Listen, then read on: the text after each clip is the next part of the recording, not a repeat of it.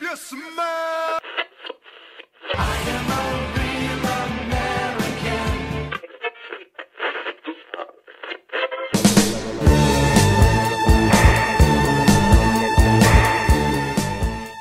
On this episode, Andy and John sit down with the future stars of the Northern Wrestling Federation to celebrate their two year anniversary. Welcome to the road home from wrestling.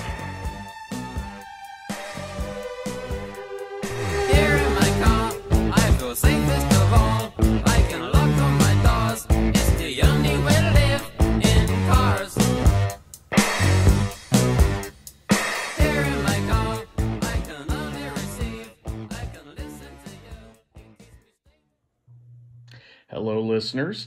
It's Andy from the Road Home from Wrestling podcast. I'm coming to you live to tape, of course, from the world headquarters of the world. And I'm here to tell you a little bit about this episode. So, uh, the Northern Wrestling Federation Future Stars was supposed to have this big anniversary show on uh, April 19th, and um, it ain't going to happen. You know, it's just for the simple fact that, uh, you know, we have this virus that's screwing everything up for the entire world. Uh, so, you know, we decided we wanted to do something to kind of help them celebrate a little bit.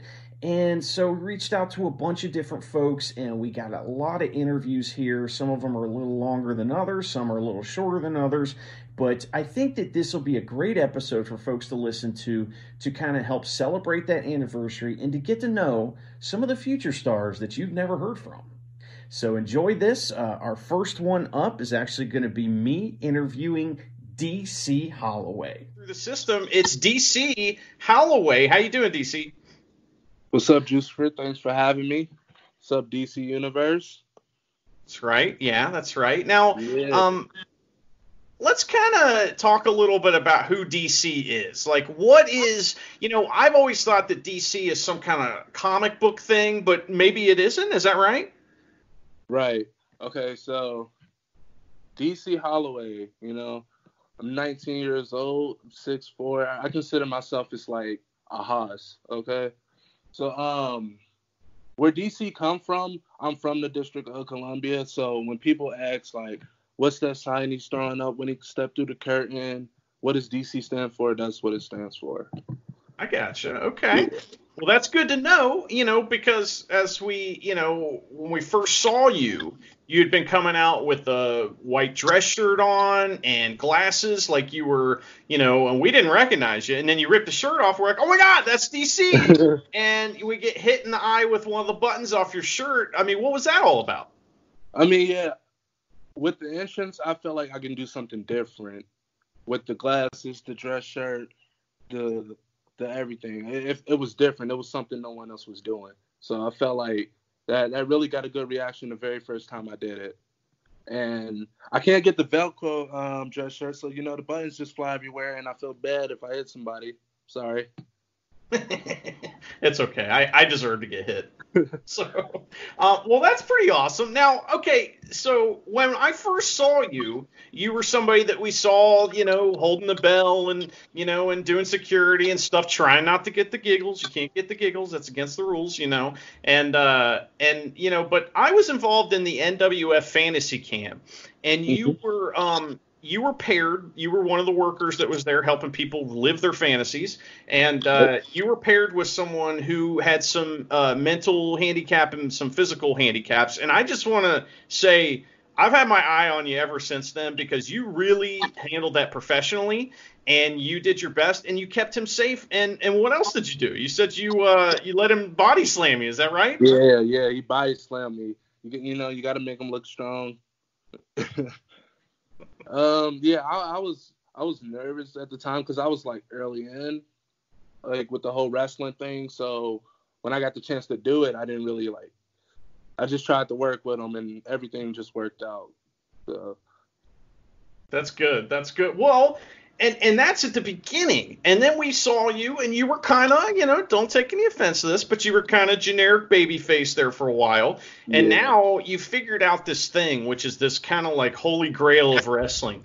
It's a way to be uh, a fiery baby face without being cheesy. What's the what's the secret to that, and how have you kind of figured that part of your character out? Well, the first thing I, I, I want people to take me more serious, so I don't like the all the all yeah, come on, come on. I like a different approach. So when I come out, I'm just like I'm just angry. I just got so much fire behind me. And then, you know, like I just bring that out to the mat and it, it gets it gets a reaction, you know. I got the DC universe behind me. I'm I'm not doing the yeah, come on. I'm just ah ah, you know. It's true, but the DC universe is expanding because it, It started is. out it started out in the Cincinnati area and now, you know, it's in the central Kentucky area, it's up in the central Ohio area. Who knows where it'll show up next? I mean, seriously, who knows? Who You know, knows? but uh, tell me a little bit about working at places like Primetime Wrestling and Rockstar Pro and some of the good matchups you've had there. Well, working at PT, I love working at all these promotions. By the way, um, I got the privilege to go up to PTW, and one of the best matches I had there was the Native Sons versus ATM, Alex Angel, and Perez. Um, it was in a street fight too, so it, it was a lot of chaos. It was weapons being thrown, getting hit with weapons, all types of stuff, and it was just chaotic. But the crowd really liked it. Um, you know, it's fun to just go out there and throw down anytime. Um, I had a great match at Rockstar with Mannix. Nice. Um, yeah, it was my debut match, and me and him went toe to toe, and that was a really good match to like let people know at Rockstar who DC is. That's awesome. Uh, Austin Mannix, tremendous wrestler. Uh, Yeah. Another guy that's kind of, you know, I, he's been on the show before, and you know, I found out when I interviewed him that he's like a 13 or 14 year vet, or maybe longer than that. And I did not know that. Um, like, it's kind of interesting because like he's just now coming into his own as this like striking guy, and I. I I would wager to um, or, or you imagine that you guys threw a couple forearms in that match. Is that right? Yeah, that's right. we Like did some thir- good ones, too. like 300 of them, I bet. So that's pretty awesome, man. Well, you know, it's interesting to me too because your style has turned into kind of like a striker type wrestler, and usually um, when a guy is your size, it's all about power. What um are you planning on changing any of that at all, or is this kind of like what you're just kind of evolving into who you evolved into, and that's kind of what you want to do? Um, well, I'm always trying to change it up a little bit. And once this whole Corona thing blows over and we're back there, you might see some different style wrestling for me. Um, you know, I just like to do it all. I, I don't want to be the guy that's just set to one thing. You know, I like to do it all. And all. yeah, yeah, yeah, yeah. Well, uh, well, I appreciate it, man. And uh, you know, most people. I mean, some people may know this, some people may not. But you are a former owner of the Road Home from Wrestling podcast. You, Kimba, and Lexus Montez uh, were owners there as the Native Sons for a while. Um, how does it feel to be uh, part of the few, the proud, the former owners of the Road Home from Wrestling? Hey man, it feels good because I never been a leader like podcast or anything, and you know from time to time I, I listen to the podcast. I actually take stuff from the podcast, like because you know you give your honest opinions and stuff like that, and you know it's it's been a blast, bro. Well, I appreciate that. You know, we kind of all consider ourselves part of the wrestling family in this area, and I'm glad Right. you're part of that too, man. So, uh, well, where can folks find you on the internet? And, uh, you know, do you have any questions or any other comments that you want to throw out there? Um, well, you can find me. My main source right now is DC Ruffin on Facebook.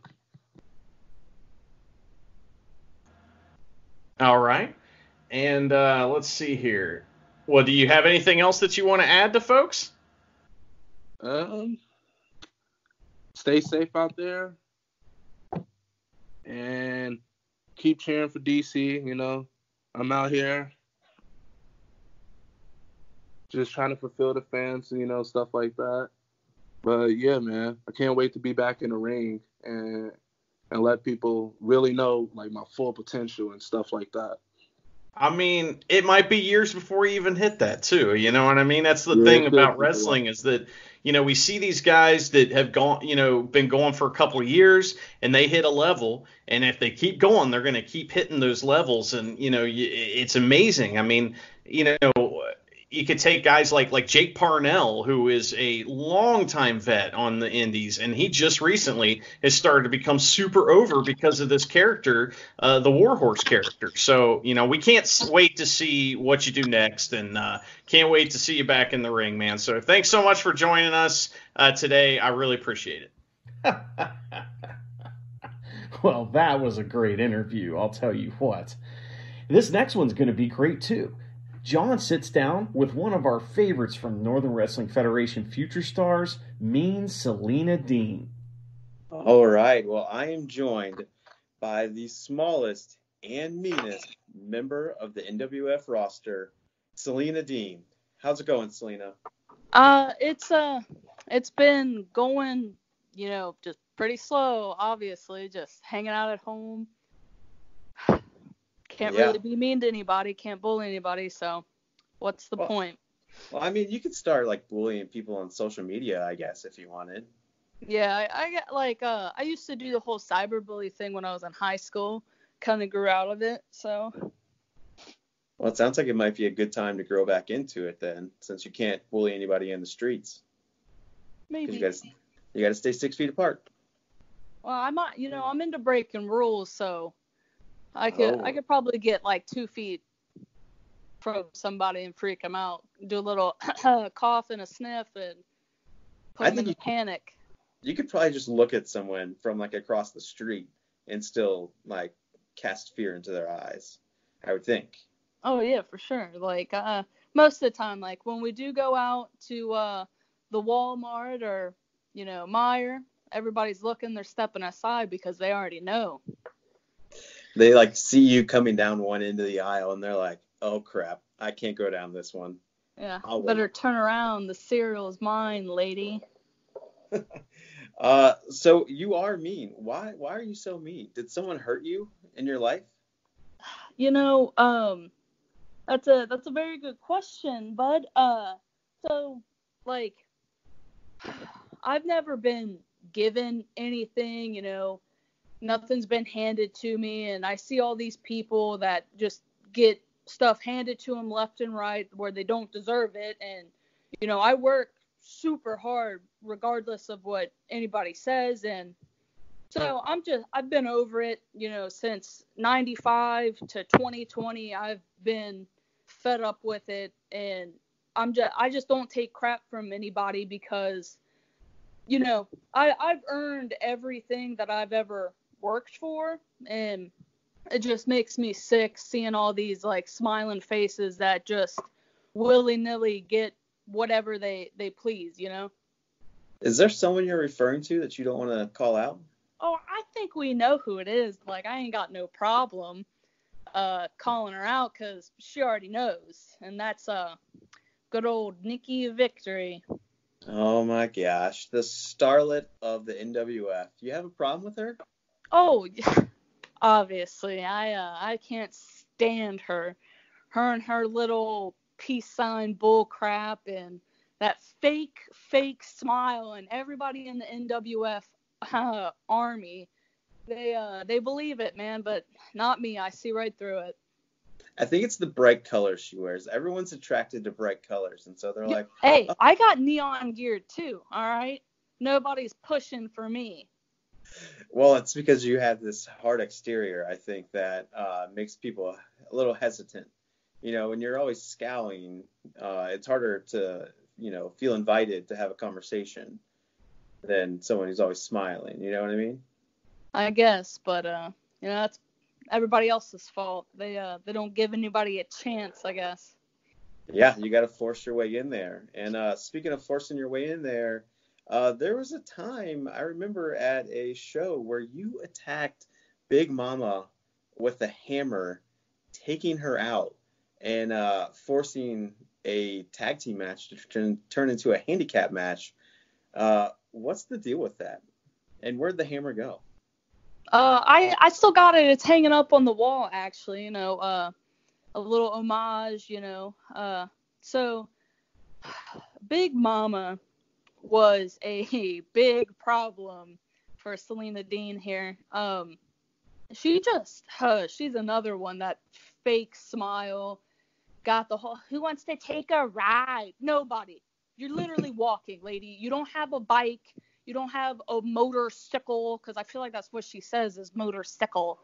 But she's had her time, and her time is obviously came and went because I don't think we've seen Big Mama in a long time. We haven't. We haven't seen her since that night. The, and I, uh, I did NWF everybody a favor, I think. So Yeah, the NWF Future Doctor would not clear her for action, and she's Yeah. not been cleared since. yeah, that's good. I mean, I still see her from time to time hobbling around, but So she's Hey. still uh, she's still chasing that spotlight, trying to, but you're like, no, I've already taken it off of you. exactly. Stay Uh, put. so That's rough. I mean, Big Mama, she's got a lot, a lot of people supporting her, and uh, they're they've all been missing her. Are you worried that she's gonna come back at some point in the near future and uh, get some revenge? Well, I mean, if she decides to, by all means, uh, she can come and uh, quote unquote take my ride, and uh, I'll I'll do something else to her. Maybe that other need needs some work and done. So if Big Mama takes rides on a motorcycle, what kind of rides are you giving rides on? Like, what's your Uh, vehicle of choice? I mostly take rides in like the back of police cars and everything, so maybe Cool. she can, uh, you know, hop in the back of an ambulance after I'm done with her. Wow, that took a real turn. I was not expecting that. uh, so so friendships are hard for you. I, is that an easy is that an easy assumption I'm making there? No, like um, I I actually have a best friend, and uh, her name is uh, Selena Dean because that's the only friend I need. But I thought you and uh, Ella had a friendship going, right? Or Uh, what, what's going on there? I mean, you know, it's a it's a an acquaintanceship where uh, you know, we met, kind of, you know, liked each other, and then. You know, like I'm not gonna lie, she's crazy, dog. I know I've seen. Uh, yeah, she uh she done that scream like one too many times when we were hanging out and I was like, yo, pump the brakes, sister. We uh we ain't that cool, so I have a suggestion. Uh, they make some really nice noise canceling headphones. Like I have some some Beats Studio ones that I can't hear anything when I have them on. Maybe when you're hanging out with Ella, it'd be good to put some of those on. you know, maybe I might think about that. But uh I think uh she's back in the mental institution, so uh I might not have to worry about buying anything as of late, you know. Yeah, that's true. Uh, but when you guys were hanging out, one of the last you know memories I, have seen of you two, uh, there was a moment where you were pushing drugs onto Ella, and then making her become this like alter ego named Elizabeth, and it gets a little like muddy. Is is Elizabeth and Ella the same person? Um, uh, first of all, it is uh medication, not drugs. I don't know what you think the NWF and Selena Dean pushes, but uh, we like to call it medication.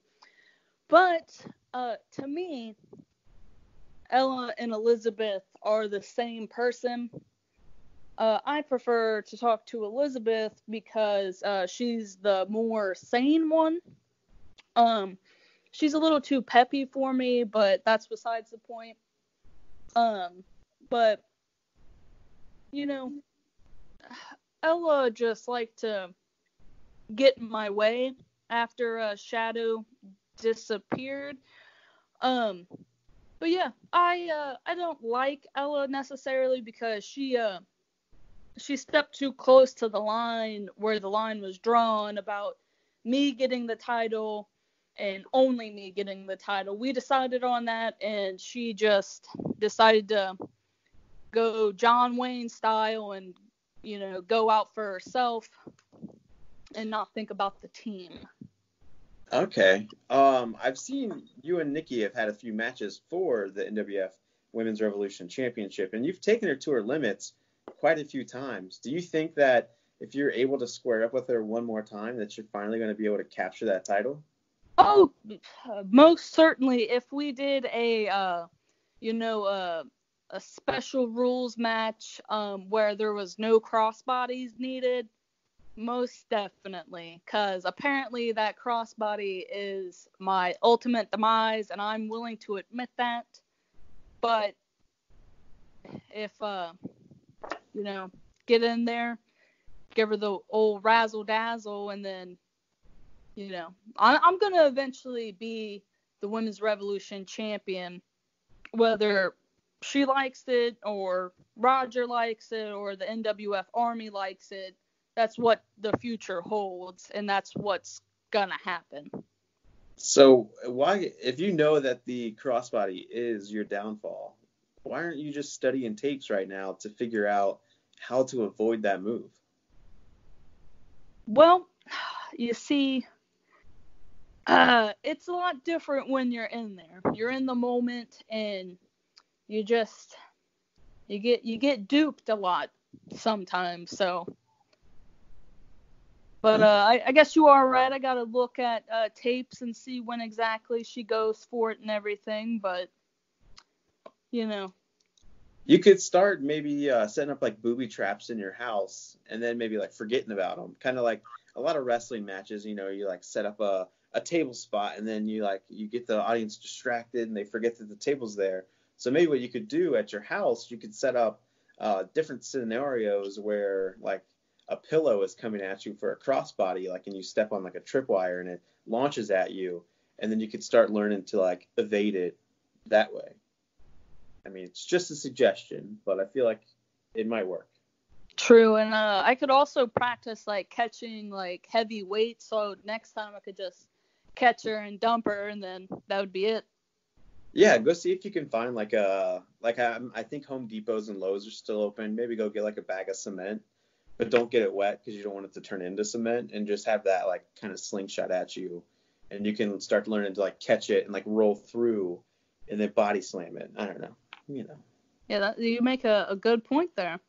I, I sometimes you know I have a lot of downtime to think right now, and I'm just trying to help out my wrestling friends, you know, and make sure that they can win their titles. Yeah. Or did you just say that we're friends? Oh uh, no, I, that word slipped out. Um, yeah, because you're mistaken. So you better Yeah. chill out. I am very sorry. Please do not uh, leave any like burning poop on my front doorstep. I I would not want that. Well, actually, you might want to go check. So Oh. Okay, maybe in a just minute. remember to stomp it out. No, I will not do that. Uh, but you mentioned somebody who I was going to bring up later, but now that you've already brought them into the conversation, I'd like to talk about him. The Shadow. Where has he been?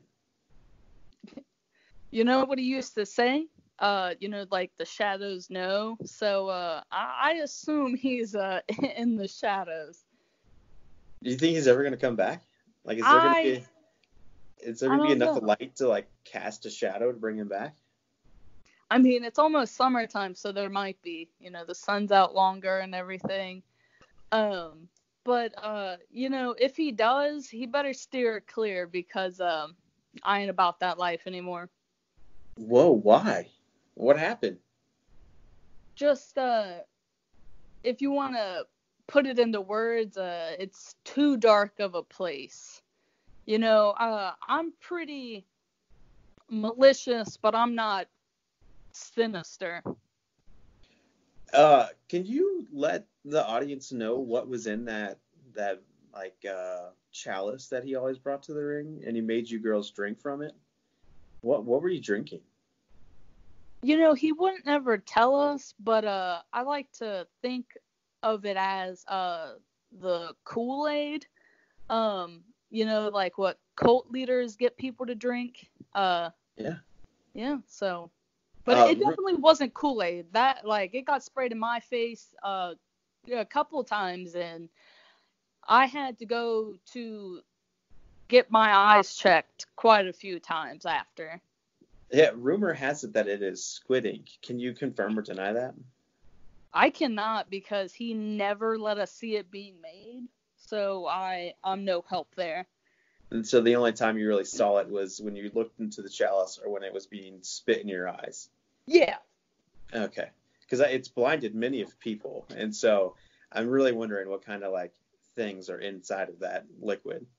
I don't know, like when he used to pour it like out of uh, this big like cauldron thing, it was like smoking and stuff. So it's uh super hard to tell.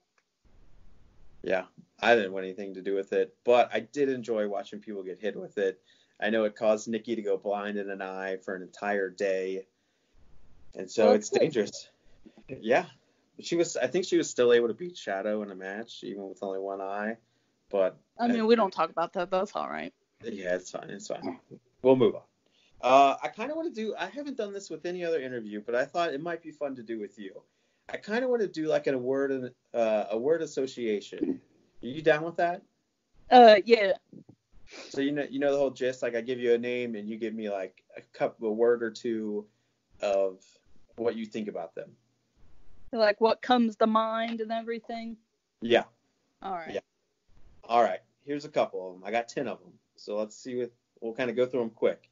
Uh, Loca Flora. Hater. Jay Donaldson. He was all right, but I hate him. Wow, it's real hateful. Veronica Vaughn. Yo, super hate, dude. Noah Gabriel. Ugh. Good. I I don't even have a comment on that kid. That stupid beanie. is he a wrestler? Do you think he's a wrestler? Is he- No, in that born to wrestle hashtag, I wish Twitter would ban him so hard, man. I cannot stand that kid. Wow. He's an announcer and that's it. All right. What about Hugo? Who? Hugo? I, I don't know who that is, honestly. Oh, okay. He uh he's not around enough, so. Oh, okay. Fair enough. Uh, Kayla Cassidy. Ugh, she's uh she's a piece of work, all right. Ella. She's uh hmm, pretty uh crazy. You know, she's she's okay. No AY, but she's all right. Kobe King. Ugh, good God, have we seen him? I, you know, honestly, I might change the title that I want to the unified title, and I might just go beat him down. I would love to see that match. I'd love to see you get in the ring and beat up all the boys. Yeah, uh, especially like I I've been on this kick. I really want to beat the crap out of Star Rider. Don't don't we'll get we'll get to Star Rider. uh, Nikki Victory.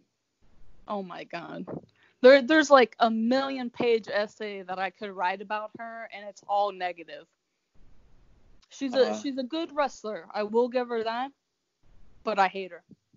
Despise her. Fair enough. Uh, last one. Hollywood Adam Swayze. you know, he's uh he's pretty good looking and all, but uh he seems kind of snobby. Yeah, yeah, he's he's really got that like that arrogance about him that makes you want to talk to him, but then you get close and you're like, never mind, I changed my mind. Yeah. One time he uh he asked me for a piece of gum backstage and that like I don't know, that that was kind of a highlight cuz he's really famous. So he's okay. He is he is famous. Do you have a favorite uh, Adam Swayze movie?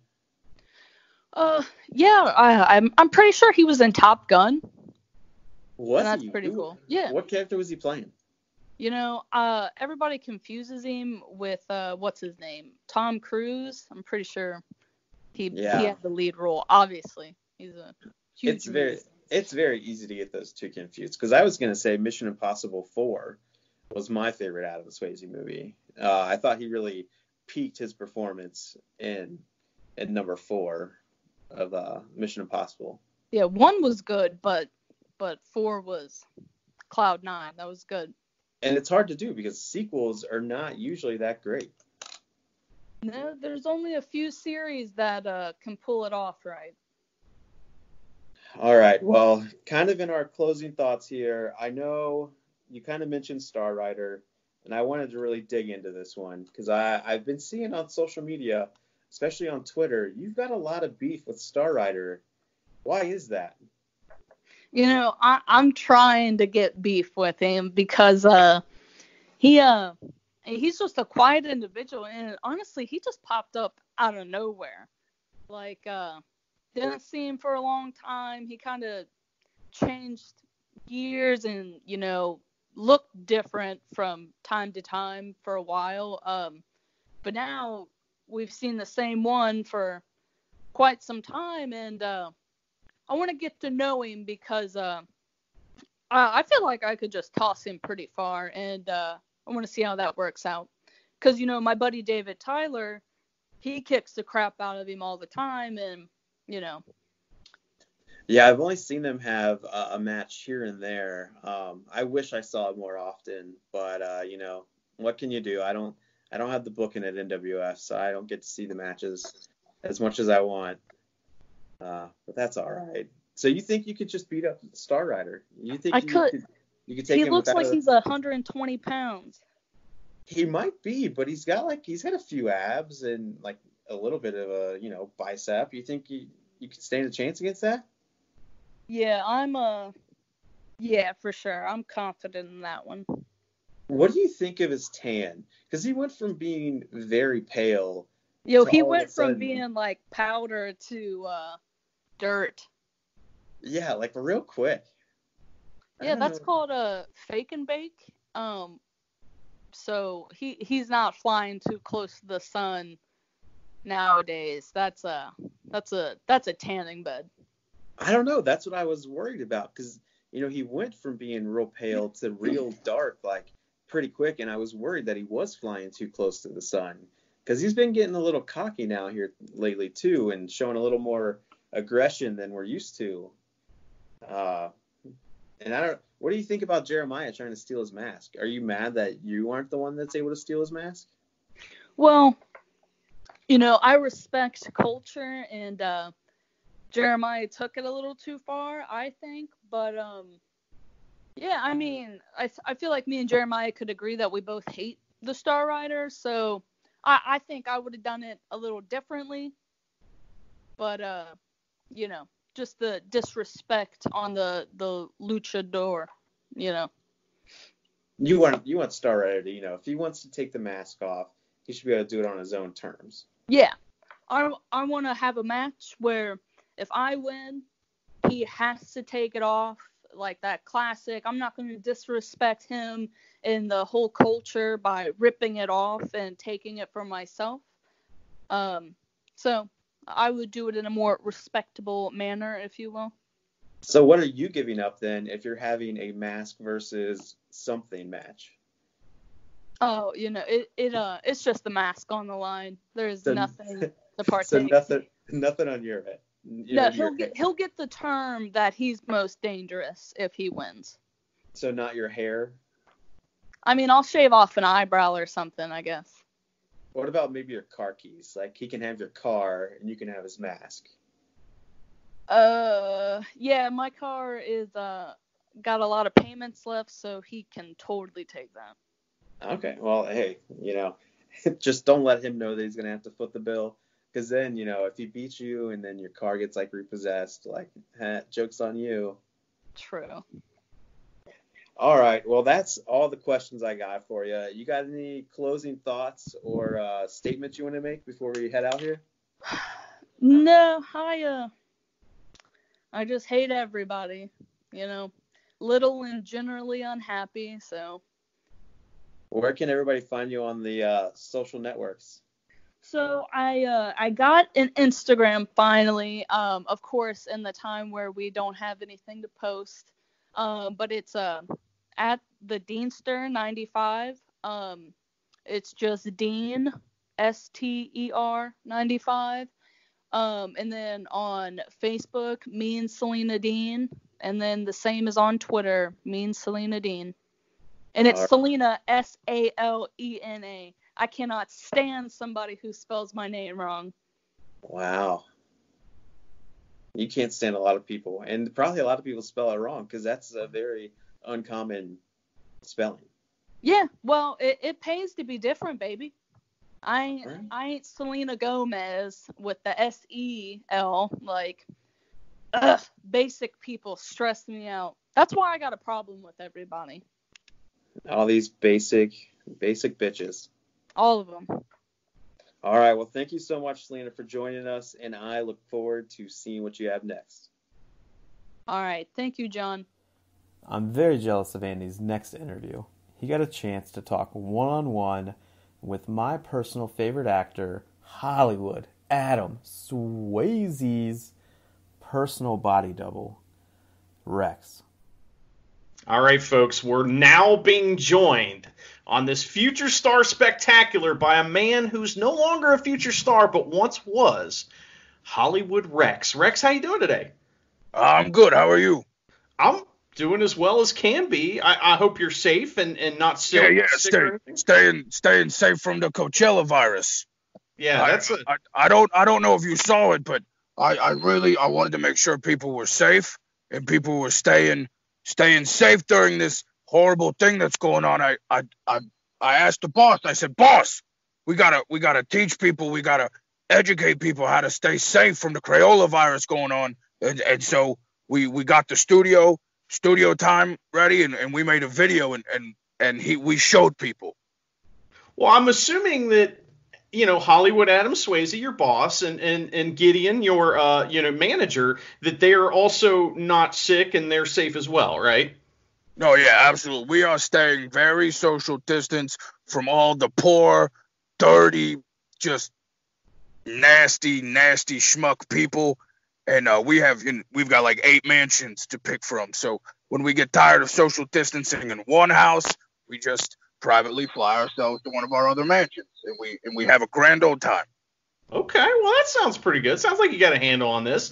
Now, you know, the future stars of NWF is celebrating their second year anniversary. Now, the stupid virus that, you know, I don't remember the name of it, but that virus that you were talking about, Yeah, the it has virus. there you go, baloney virus. It has ruined, you know, pro wrestling right now. It's canceled everything. So, you know, I wanted to have you on and a bunch of other folks that have been through the Future Star system. What I mean, what was your experience like in the NWF Future Stars uh, system? Uh, well, so coming into the Future Stars, I uh, my an old you know Gideon, my our boss, my little boss, as as we say, Adam, Adam, Mr. Swayze, that's the big boss. But Oh, Gideon, definitely. Gideon, that's a that's a little boss. Not little as in size, but just he's he's the boss above me. But then the big boss is the boss above the boss. You know. It's the hierarchy of, of Hollywood. I yeah, exactly, exactly. So little boss came to me and said, you know, Rex, I know you've been trying to, you know, break into the the Hollywood scene. I know you've been trying to go out and, and do the things. Well, I've got I've got a proposition for you. And I said, kid, I said, what what do, what do you got? Absolutely, I'd love to. And he said, I want you to meet my star client. Okay, I want you to meet the biggest of the big. And I, I said, I said, you you don't you don't mean him. You don't you don't mean Adam Swayze. And Gideon, he told me that he meant Adam Swayze. He needed me personally to work what started as a somewhat of a protection for Adam Swayze. There was this big guy. There was this, this you know DC. You remember. Yeah. Yeah. You remember him. I beat that schmuck. Yeah, he. I actually talked to him briefly. Um, I don't know if it'll be before or after this interview, but he appeared on the show, and I mean, he didn't do nearly as well as you're doing. I mean, obviously. So, The only, only, only two people that could ever do better than me are Gideon Weinstein and Adam Swayze. that's fair. That's fair. Now, um, s- I'm the third best of the best. so Gideon brought you in, um, you know, to kind of be protection for Adam Swayze, but that also um, kind of morphed into a new position for you. How, when did you realize that you and Adam Swayze look exactly like each other? Well, yeah. So that was we all. I I, I grew up idolizing Mr. Swayze. Uh, you know, Gideon would would would send us movies he was in, projects he was working on, and let us see. And so during that, I just I felt this. So I looked up to him. I felt this idolization of him. And so when he finally told me, he said, "Hey, we need somebody for protection," I said, "You know me." biggest baddest guy on the block. So they they flew me up, and and it wasn't until we we first met in person, looking at each other, kind of like one of the scenes from one of his movies where you you just see that person standing there, and you go, Yo, is is this me? Am I just looking in a mirror? And he it would have been one of them funhouse mirrors because he's so much taller than me, but we just we realized right away that with with the proper cosmetics, because I mean I'm no looker, I'm no stunner like Adam Swayze, but with the proper treatment to me, I I mean it's not spot on, but it's pretty close.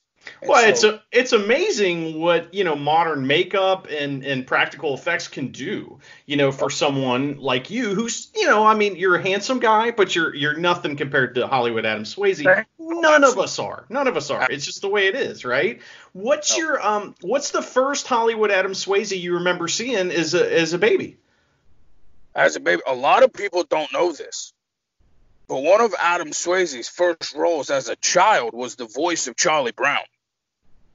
And so, growing up in the mean streets of Brooklyn, one of the things that while while my parents worked, a lot of people don't know this, but but mom and dad were gone a lot. They they worked hard to to provide for me and my older brother, and that's actually how I how I got to know Gideon. Gideon was friends with my older brother.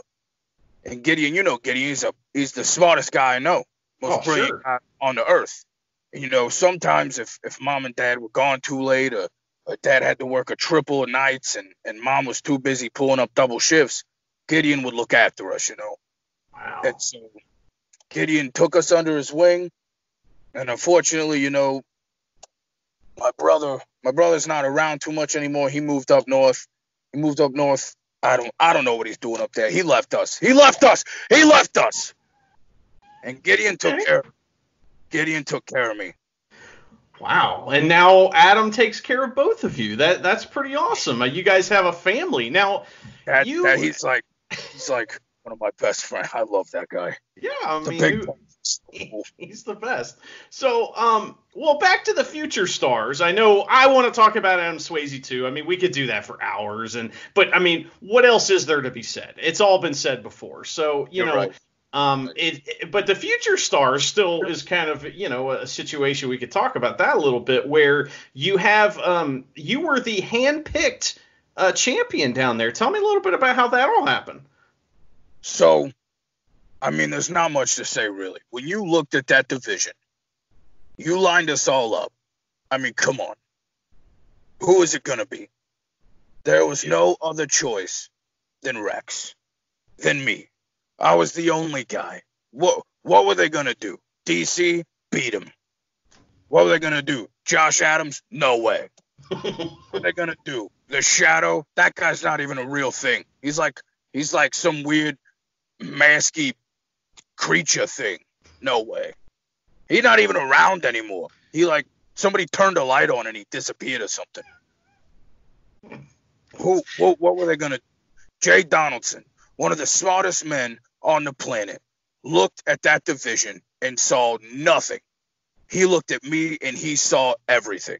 He knew from the second they brought me up that I was going to take that division to new heights, and that's exactly what I did. How, how'd you get so good at wrestling, Rex? Well, look, growing up on the mean streets of Brooklyn, your mom, your mom, your dad are out. Sometimes you gotta go do things yourself. You know what I'm saying? Sometimes as a kid, sometimes as a teenager, a young adult, you don't always, uh, you don't always have money in your pocket. Now, hey, I never got to worry about that again, do I? Sometimes growing up, to make ends meet, to get the things you need, Maybe you had to have a couple slippery fingers. Maybe you had to, you know, hide, a, hide behind a couple walls. But not me. If I wanted it, I took it. And if anybody challenged me, I was the biggest, baddest guy on the block. That's why they called me up to protect Mr. Swayze, and that's why I'm still around. I got no so good kidding. because I did what I had to do. And look where I am now. I mean, you're at the top, you know, and and you're no longer even a future star. You're now, uh, you know, current tag team champion, and I mean, it's two-time champion now, right? WF Hollywood Blondes. Sounds good, doesn't it? Just rings off the tongue. It's you know, it's Nobody's a, ever that name before. We That's what I was saying. It's a genius name that I've never heard before. So uh, that's incredible, man. I don't know where you guys Yes. came up with that. put a lot of brain power into it. Well, you know, we work in Hollywood, and we both have blonde hair. Oh, okay. Like get it, but I, I'm- hey, it- it's, what are you do? You know, it's a I- finger. I can only do. You know, I'm I'm just as God made me. You know, I can't be any more. I can't be any less. I just am what I am. And so, you know, I understand and I appreciate the fact that, you know, first of all, taking the time to talk to a schmuck, as your words, you know, uh, like myself, and also, you know, all of our schmuck listeners that are out there, because I mean, there's a lot of them, and you know, they don't know a lot about Rex. So we're gonna wrap this up. But what's one thing? Um, that that you want the folks that are listeners out there to understand about Hollywood Rex? One thing, and it's this. You said earlier, you're nothing more, nothing less than what God made you. And that's why you're a schmuck doing an, an interview right now. That's why I'm on the top. I didn't accept that. I didn't accept that I was no more or no less. I said, no, I'm going to be more. To who hooey with what I am, I'm making myself better. I'm putting myself at the top. And now me, Mr. Swayze, and Gideon are looking down on all you schmucks from any one of our seven mansions and just sitting back lavishly enjoying the luxuries of life. And y'all are running around like chickens with your head cut off during this Coachella thing, this Crayola virus going around killing people. Well, guess what? We ain't got to worry about none of that we did not accept that we were just as we were. We pushed, we became better, we became the best. I heard a rumor, and I don't know if this is true or not, but uh, you know, you mentioned the the eight mansions. I heard that Adam Swayze uh, took one of those mansions and completely filled it with toilet paper just for fun. Is that right? One, buddy, check check check your sources. We've got two, two mansions filled with the toilet paper. I I also heard that he drives by grocery stores just to laugh at people that can't, you know, can't get toilet paper because he has it all. Is that right? Not not exactly. We would never ever put ourselves that close to to these disgusting people. We have one of our employees drive a car as they hold a screen in which he is via satellite seeing through, laughing at these people that have to be out there breathing up all the disgusting air. We would never put ourselves that close. That's ridiculous. That's fair. That's fair. Well, we don't want you to get any viruses, and I'm glad you guys had plenty of butt wipe. That's very important. Uh, where can folks find Hollywood Rex on uh, on social media? Uh, you can find me on Facebook at the Handpick Unified Champion because I was and I will always be the handpicked NWF Unified Champion. I don't care what Colby Cheese has to say anything about it. You can find me on Twitter at WrestleRex because if anybody wants to step up, I'm ready to wrestle anybody. Outstanding, man. Well, I, I thank you so much. Um, you know, I appreciate you guys lowering your fee just a little bit, not a lot, but a little bit. And uh, you know, the checks in the mail as usual. And uh, hopefully, you guys get it soon because I don't want you showing up at my door to uh, collect it. Absolutely. If it bounces, you're in for it, buddy. All right. Thanks so much, man. that Rex, he sure is something. Well, next, folks, we have an interview with John sitting down with the unified champion, kind of the top guy at the Northern Wrestling Federation Future Stars. This is a first time ever interview. So check that out next. It's Kobe Kane. All right. Well, I am being joined by the current reigning and defending NWF Unified Champion, Kobe Kane. How's it going, Kobe? It's going great, man. Thanks. Thank you for having me. I appreciate it. Yeah. How's uh, life been going? You know, without wrestling right now. It's uh, well, I mean, obviously we we want to be out there. We want to be doing our thing, but you know, you just kind of everything happens for a reason, I suppose, and you know, it's a good time to sit back and reflect and you know try to maybe add some stuff to your game. Yeah, and I think it's a probably a pretty good time to like any nagging injuries you might have been, you know, suffering from that you're not telling anybody about. You're given time to recover right now. Yeah, yeah, it's it's a nice little rest period. Um, it's it's kind of like a it's kind of like a blessing in that you know you just get to sit back and you get to look at the grand the grand scheme of things and you know it's it's it's a good it's a good time to just yeah like you said just heal up and prepare for what's next and get a game plan going forward. Yeah. So, like I said at the top of the show, uh, the interview, you are the current unified champion. And what does being the champion mean to you? It, I mean, it means everything, really. I mean, it means, it means you're, you know, you're the leader of the future stars. You're, you know, you're kind of the anchor of the division, and um, it's it's something I, it's something I really, really enjoy. Um, is just you know leading this this group of guys and, you know, trying to be the best we can be. So, what do you do with the guys who don't want to fall under your leadership? Because, you know, like you said, you're kind of the locker room leader for the future stars. So, how do you deal with guys like uh, like Icon and Dakota Wolf and Zachary Slater who don't want to take part in any of your leadership? Uh, well, with well, with Icon, I've me, me and him have we've always had a a, a misunderstanding between us. We've always wanted to kind of go on different paths.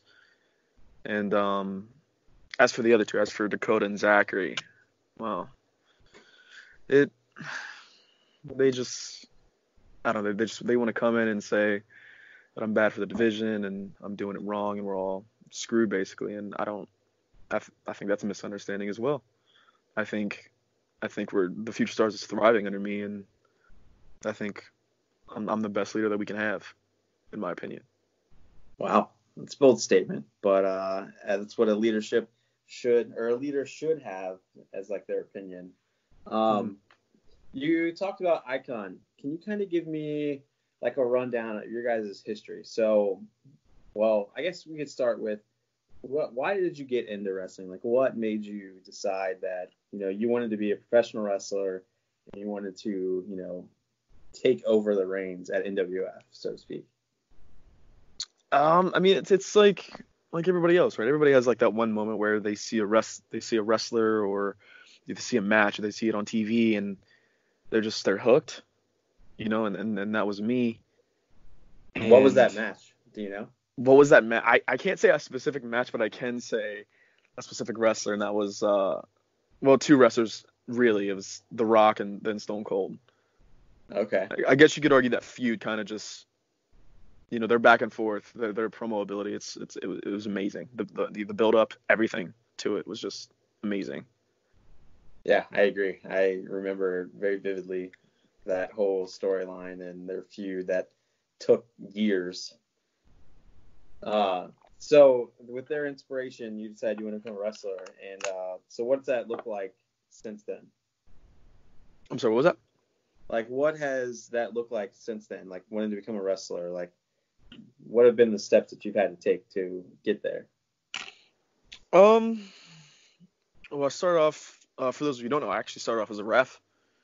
Um, Okay. I was I was refing and and I was uh reluctantly pulled into a match with with Icon and and uh I lost that match.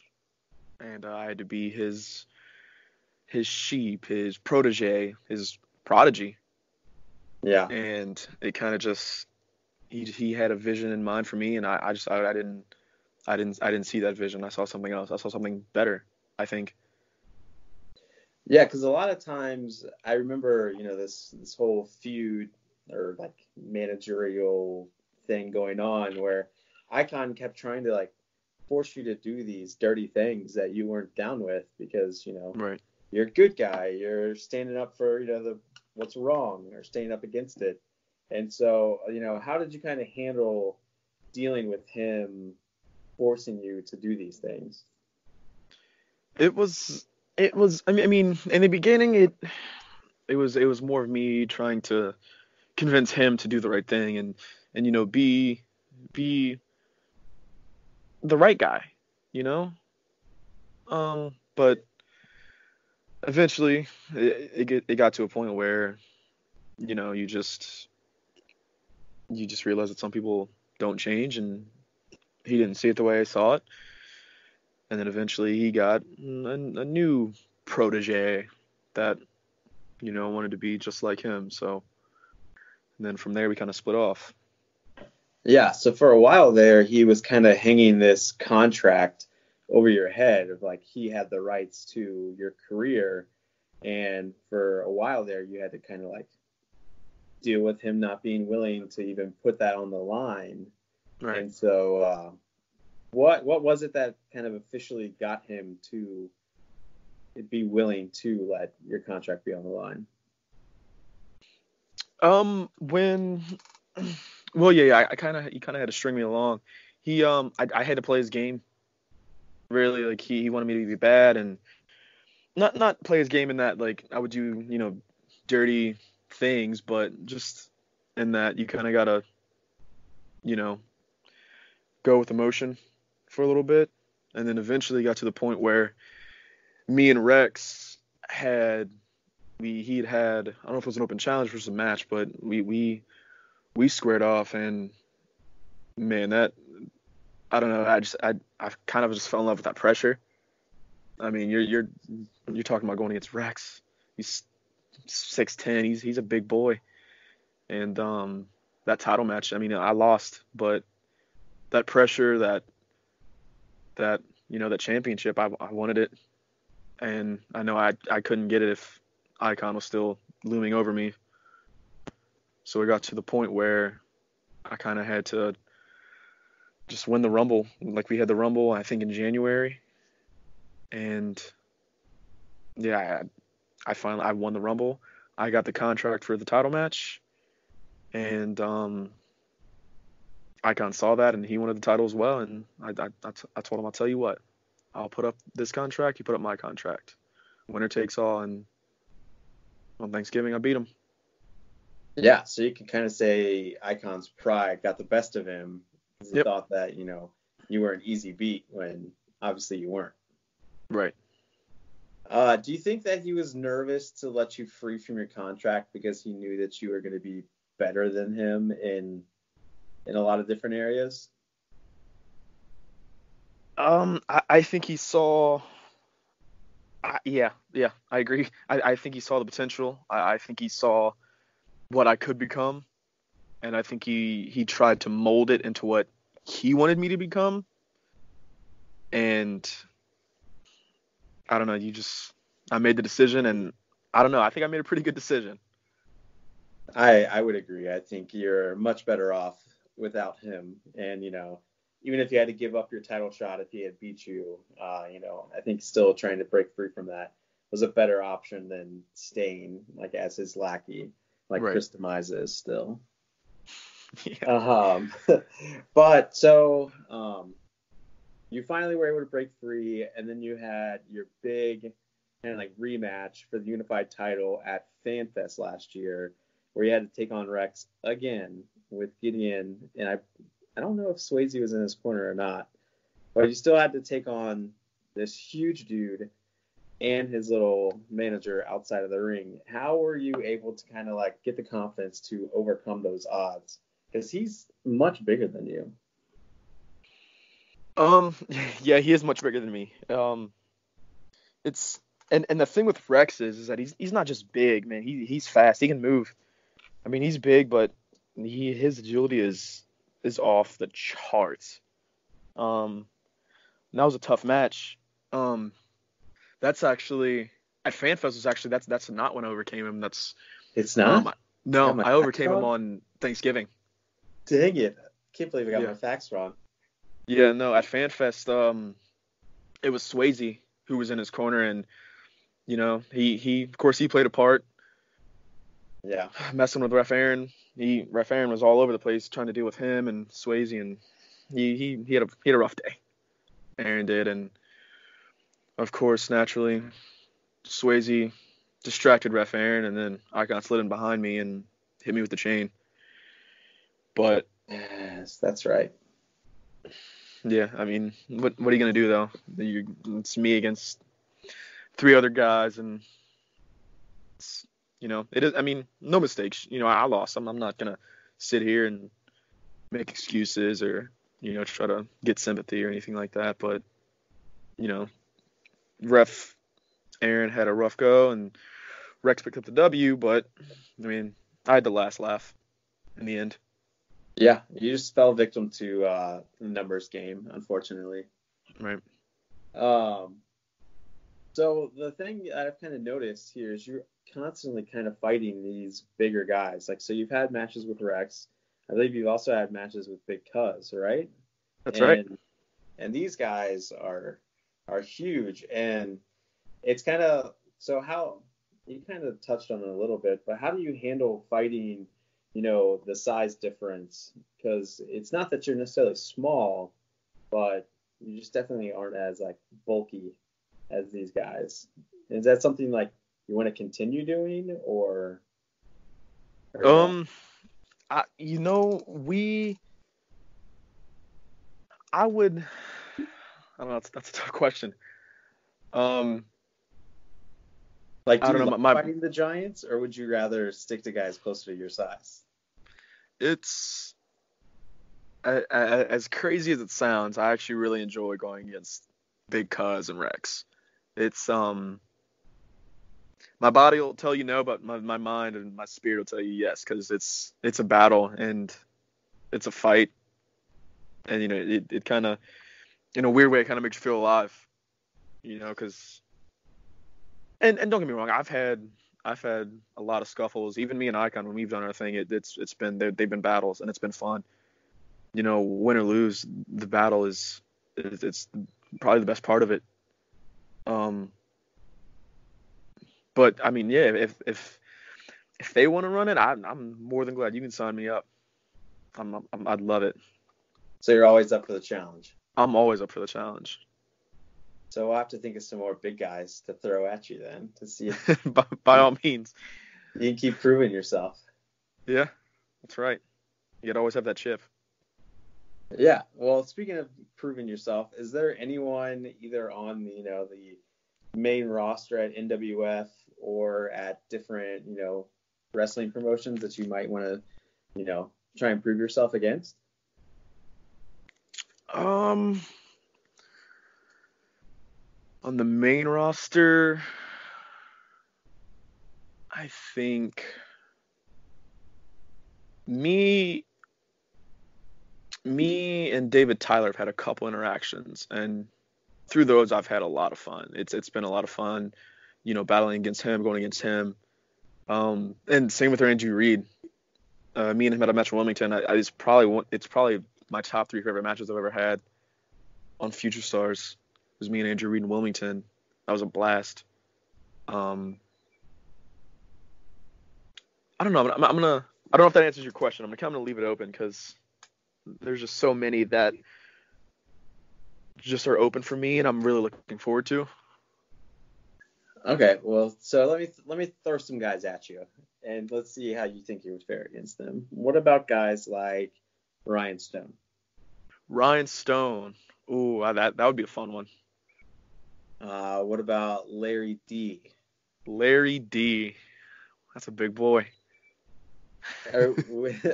How what what would you, what's the the likelihood that you would take a best hand in the house against Larry D? Um, Or do you think you'd just be so quick that you would dodge it?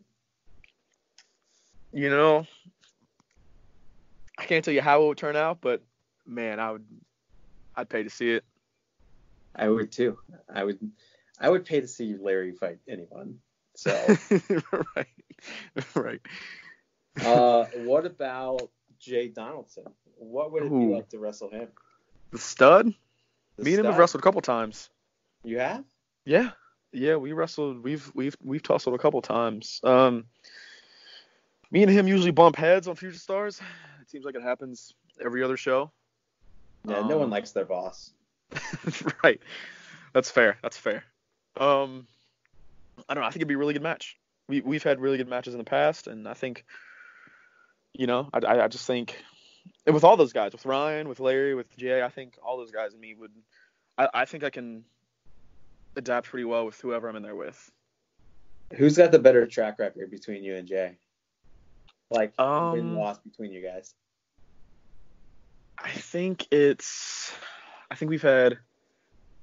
We've had one singles match, and then I think we were in a tag together, and I think I'm two and zero against him. Wow, two and zero.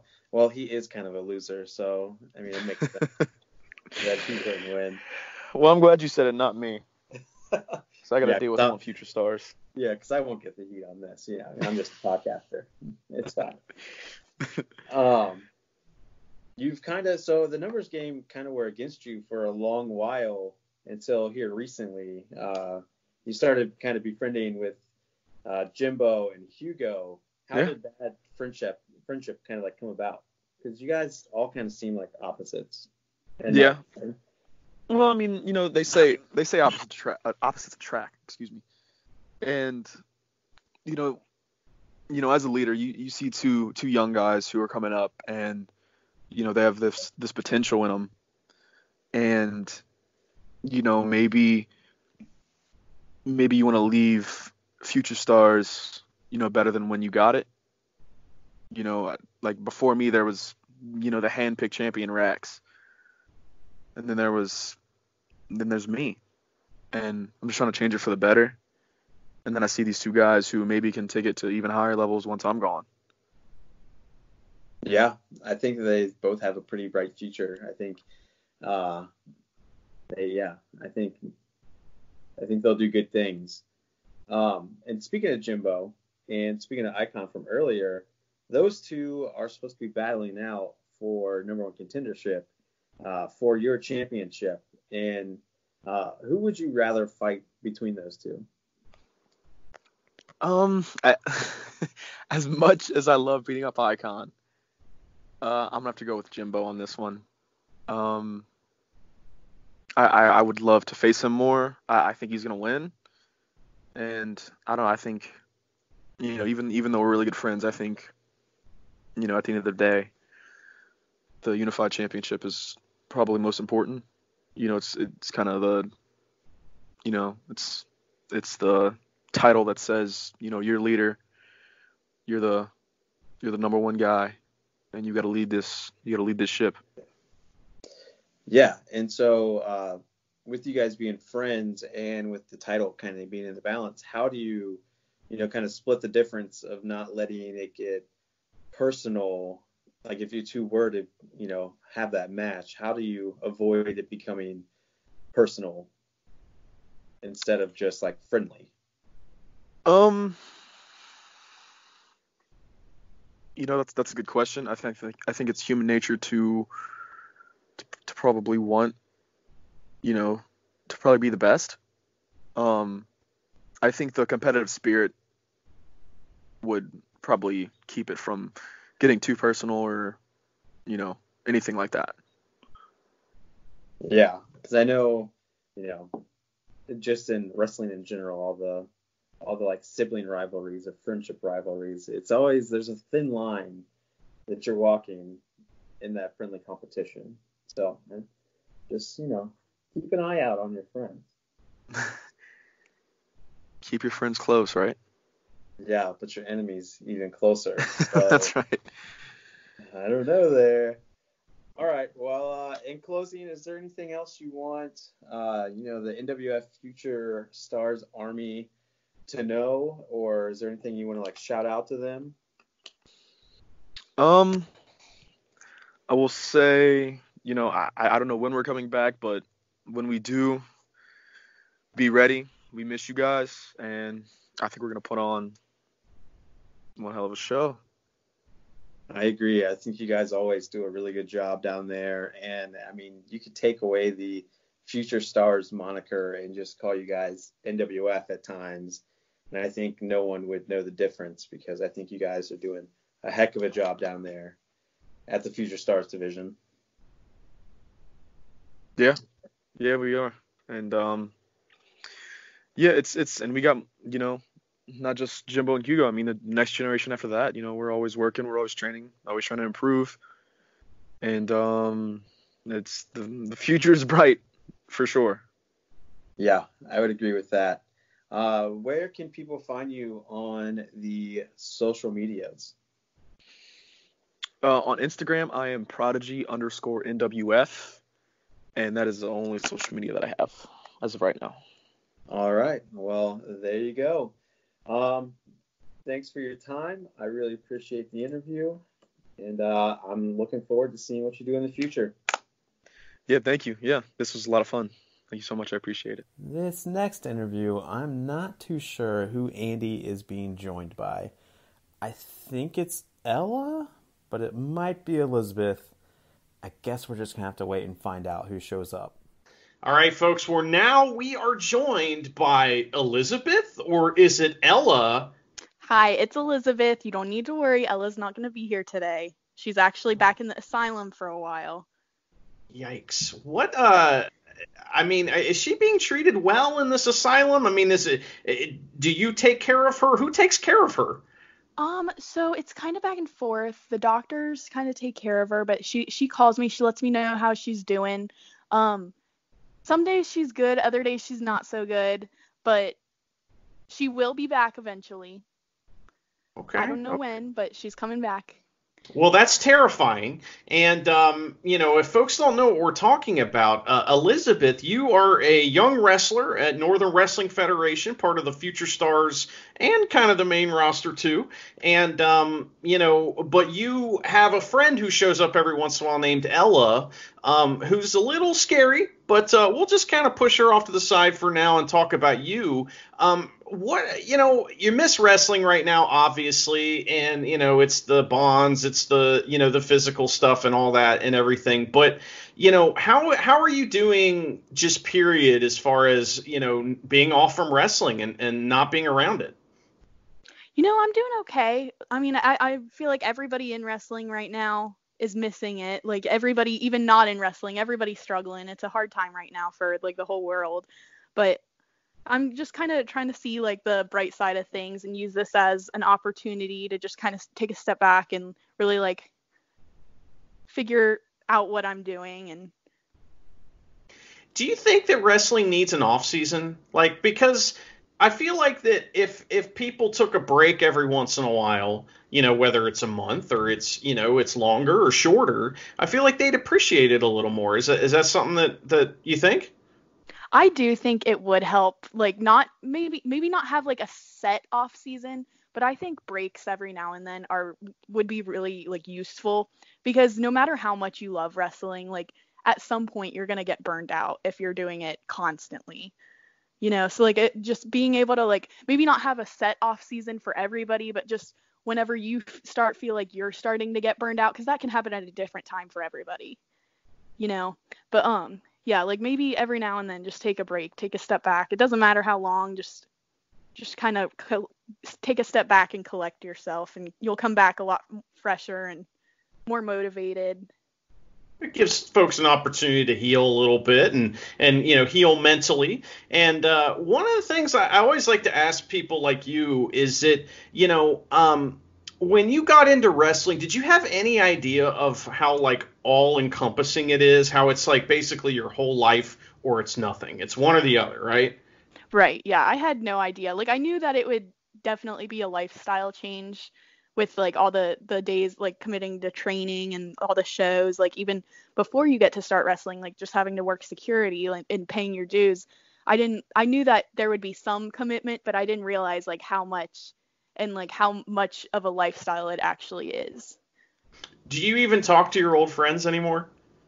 no i, I honestly i i think my old friends that i would, would hang out with every day literally every day before I started wrestling, they've been to like one or two shows, and I never talk to them anymore.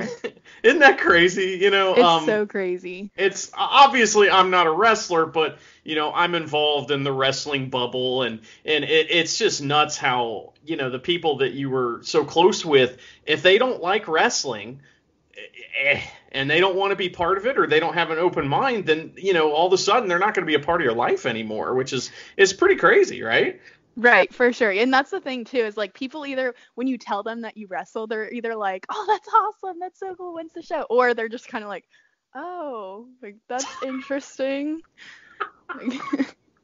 What's the most uh, silly reaction, or maybe the most uh, obnoxious reaction you've gotten to something like that? Um, let's see. I've gotten some pretty good ones because like I work in a restaurant and people will ask me all the time, "Oh, "So are you in school?" I'll just be like, "Well, I'm in wrestling school," and they'll just like look at me and they'll like. Like it either like makes my tip go way up or way down. Like some of the, like some of them will like want to see pictures and videos all about my phone and show them. But like yeah, some of them are just like like I don't know. I don't know what their opinion is of wrestling, but you can just tell that they don't really appreciate it. Here's a weird question for you, and I I find this very interesting. Um, so I served tables when I was younger, and I found that over time I had the greatest memory ever for like two minutes. Like I could remember everything for two minutes. You could tell me you needed uh, three sides of ranch. One of those cups of ranch needs to be half full of blue cheese. Uh, two refills of you know three different sodas, and I could just I could rattle it off as long as two minutes. It was under two minutes. It was over that. I wouldn't remember anything because I was on to the next thing. Right. Wrestling's a lot like that you know where you you Yeah. have to be over aware you have to have this kind of you know if you're on madden you have to have a 100 awareness to do wrestling. And and i think that serving in a restaurant is kind of the same way a lot of ways. Uh, what do you find that's kind of similar about those two things? Yeah, I would definitely agree with that because there's so much multitasking and you always have to be thinking like five steps ahead. Like what you're doing right now, you have to have a game plan for where you're going and like you have to know what you're headed to, you know, and all like be doing multiple things at once. yeah you also have to remember stuff for just a Yeah. short period of time you know which right, is right. I, you know, I- it's crazy to me. I mean, you know, the reaction time of uh, a wrestler has to be on point, and when it isn't, it's obvious. You know, and so that's Yeah. one of the things that blows my mind is that you know somebody whispers something to you, and literally a split second later, you have to react to it, and maybe you knew it was coming, maybe you didn't, and wow, you know, uh, that's a little different than a cup of ranch, but it's kind of the same in a lot of ways too. Um, right. now, the last time I saw you in a ring, you had a tea party with your friend uh, Salena, and it, it went kind of weird. Uh, Ella ended up showing up, if I remember right, and uh, things didn't go well for Salena. Um, are you still friends with Salena? And you know, if if so, how is she dealing with all this? Yeah, so I'm not really sure what's going on with Salena. I've tried reaching out to her so many times. I told her Ella's not here right now, but she just won't talk to me for some reason. Like I, I don't know. We were we used to be best friends and somehow something got in the way of that. So we're speaking of Salena Dean, or mean Salena Dean, if you want to call her that, because she is kind of mean.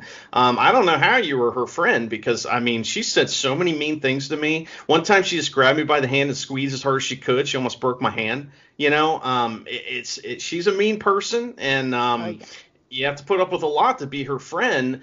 Um, but you know, you guys, when all this is said and done, and we're all back, you know, at, at Northern Wrestling Federation, Future Stars, whatever it is, I mean, are you going to beat up Salena? Is that what's going to happen here? I mean, I'm not gonna beat up Salena, but there's no telling what Ella might do. Ella called me the other day and she told me she's not very happy with Salena. I mean, uh, she tried giving her so many chances to be her friend, and then after, yeah, after last time when I had that little tea party for all of us, and then Salena came and choked Ella out, like that wasn't very nice. So I mean, I'll I'll try to talk Ella down, but I don't know what she's gonna do. And this is the kind of stuff that you get to see if you go to a Future Stars, uh, you know, show at Northern Wrestling Federation. You guys are about to celebrate, and that's kind of why we're doing this thing here, is to give you guys an opportunity to talk about this thing you love. Um, but you guys are about to celebrate your second anniversary of uh, the Future Stars. Tell me, you know, I guess here's a cliche question: What's your favorite memory of uh, the two years that, uh, that have passed at this point? Um, let's or see. Or think, a or a memory that you like, you know, whatever. Um, so I think my my favorite memory, or yeah, like a memory that stands out is, um, I don't know if you remember, but the first, like the very f- first few Future Stars, I was just a referee. I was referee Elizabeth, and then Nikki and Tasha, or um, Nikki and Big Mama d- didn't want to include me in every, everything anymore in their matches. So then that's when I introduced Ella to everybody, and just everybody's reaction to Ella, and Ella does this little scream when Little. she feels angry. Little scream. it's blood curdling at the you know the if you look up blood curdling scream in the dictionary there's a picture of ella standing there with her mouth open with like ocean lines coming out of her mouth you know so it's uh it's terrifying and it is an offensive weapon right right, right. And yeah, so that's one of Ella's big things. And so I think probably the first time that Ella ever let out that scream, just everybody's reactions. That was that was pretty cool. it still does that though. That's the thing, you know. I mean, still to this day, when she does that scream, even if you've seen it a hundred times, it's still that that reaction, you know. Because I mean, we as humans, it's like hearing a baby cry. You know, you have this kind of visceral reaction to that, like you don't like it, you want to take care of it, you want to fix it. And when a young lady screams like that, I'm looking for Godzilla. I'm like, where's King Kong? You know, because he's gonna us all. Um, man, it's crazy. I, now, when you speak to Ella on the phone, does she ever just bust out a scream out of nowhere? I mean, how does that work over the phone? well, not to me. She's really nice to me, so I haven't I haven't heard it yet. But That's- I have been hanging out with her over a, a few times and I've heard it, but um, yeah, not over the phone yet though. Okay, all right. Well, yeah, I used to have a dog, and my dog hated everybody but me. I mean, hated him. Like little kid, he was a little white fluff ball, and little kid would be like, "Oh, your dog's pretty. Can I pet him?" And I'd be like, "I mean, no." And then he tried to, you know, and it, it it's just I felt bad for him, but you know, he hated everybody. He just loved me because he knew I was cool, and it turned out that he was just losing his eyesight, and he couldn't tell what was going on. Oh So- no. he could smell me. He knew I was all right, you know. But uh, but anyway, well, um, Elizabeth, it is awesome to speak with you. You know, as always, this is your triumphant return to the Road Home from Wrestling podcast. Actually, what are some goals that you have in the future, stars, um, for yourself? I mean, are you going to maybe come back to refereeing, or are you going to, you know, help guide Ella to, you know, defeat uh, Salena, or are you going to uh, do something completely different? What do you think? Um, so right now I'm actually injured, so I might not be back at Future Stars right away, but I do know Ella is coming back. She's taking some time in the asylum right now to clear her head and get a little bit better. She'll be back, whether it's a week, a month, a year, she will be back. I really hope they're taking precautions, uh, use gloves, you know, and masks and all that stuff at the asylum because that's one thing that is an essential, uh, you know, business, quote unquote. And so, you know, it's something that's not going to close, and you're not just going to suddenly get Ella dumped on you with no uh, professional guidance. Um, are, are you and everybody you know is everybody safe and everything, and, and not sick? Yeah, I'm not sick. I've tried get get breaking Ella out a few times, tried to get her out, but they yeah, they won't let her. Just everything going on right now. They got to keep the people there and keep people, other people out. Awesome. Well, Elizabeth, do you have any questions for me, or is there anything else that you would like to uh, let our audience know? Um, I think that's pretty it. Yeah, just keep coming to Future Stars. We look forward to seeing you every time. So Well, we'll be there as much as we can. And uh, as always, um, well, where can folks find you or Ella on social media? Um, so my Instagram and Twitter are both at Ella Scarn, so E L L A S C A R N, and then my Facebook is under Ella Elizabeth. Okay, awesome. Well, thank you so much, Elizabeth. Tell Ella I said hi. And, you know, when I hear her scream, I can probably, she doesn't even need to call me. I can just hear it probably from wherever she's at. So All right, uh, I'll let her know. I'll, I'll be listening for that, okay? All right. All right. That Ella, she sure is something. Well, this next interview is between John and one of the favorites, the new favorites at the Future Stars. It's Jimbo. All right. Well, I am joined by the friendliest man in the Northern Wrestling Federation, Jimbo. How's it going, John, Jim? it it is going absolutely fantastic, and I could not be more excited to be be talking to you from an appropriate social distance, uh, as, as we have been told we must do. So, com- coming from you from from my podcast studios, i.e., my living room here in Portsmouth, Ohio, talking to the one and only Don, and I couldn't be more excited to be on the show. Wow, Portsmouth, Ohio. Where the heck is even that at? well, see, you, you know where Cincinnati is, right? Yes. Uh, and then then you, you just go east, and then once you've gone east as far as you can go east, you're in Portsmouth. So there's like nothing there. Uh, that is correct, sir. Yes, yes. They're- they're- they're- to, so is that close to the like Virginia or not Virginia? Let's see how well I know my map. Uh, like Pennsylvania, West Virginia Listen, border.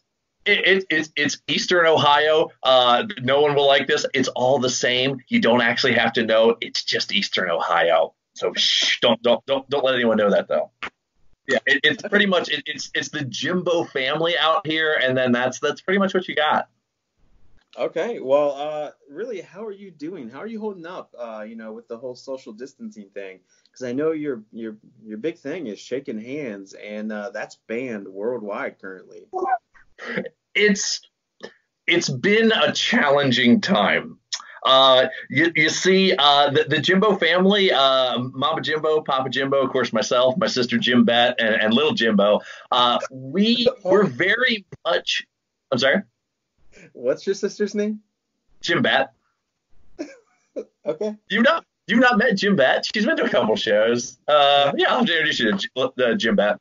Uh, but uh, we we are a handshaking family. Uh, and and see the terrible thing is is little Jimbo is just coming of age to learn how to properly shake someone's hand. And now we've given him all sorts of confusing messages because now we're telling him don't shake people's hands, but in like a month we're going to tell him to shake hands again. And it's a very confusing time for for, for the little guy. So uh, yeah, the the Jimbo family has been rocked hard by this, um, but we're we're we're getting there. We're doing air high fives, and it's it's not the Oh, same, wow. but like yeah, we, we feel a, a little bit of connection at least.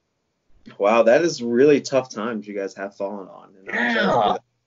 Yeah, no, it's it's it's it's rough. Uh, it- it's these are the rough times, but we understand. I mean, everyone's going through this. Like people can't can't shake hands with their loved ones. It's a really rough time. Well, I think you're allowed to as long as you're in like the same house, right?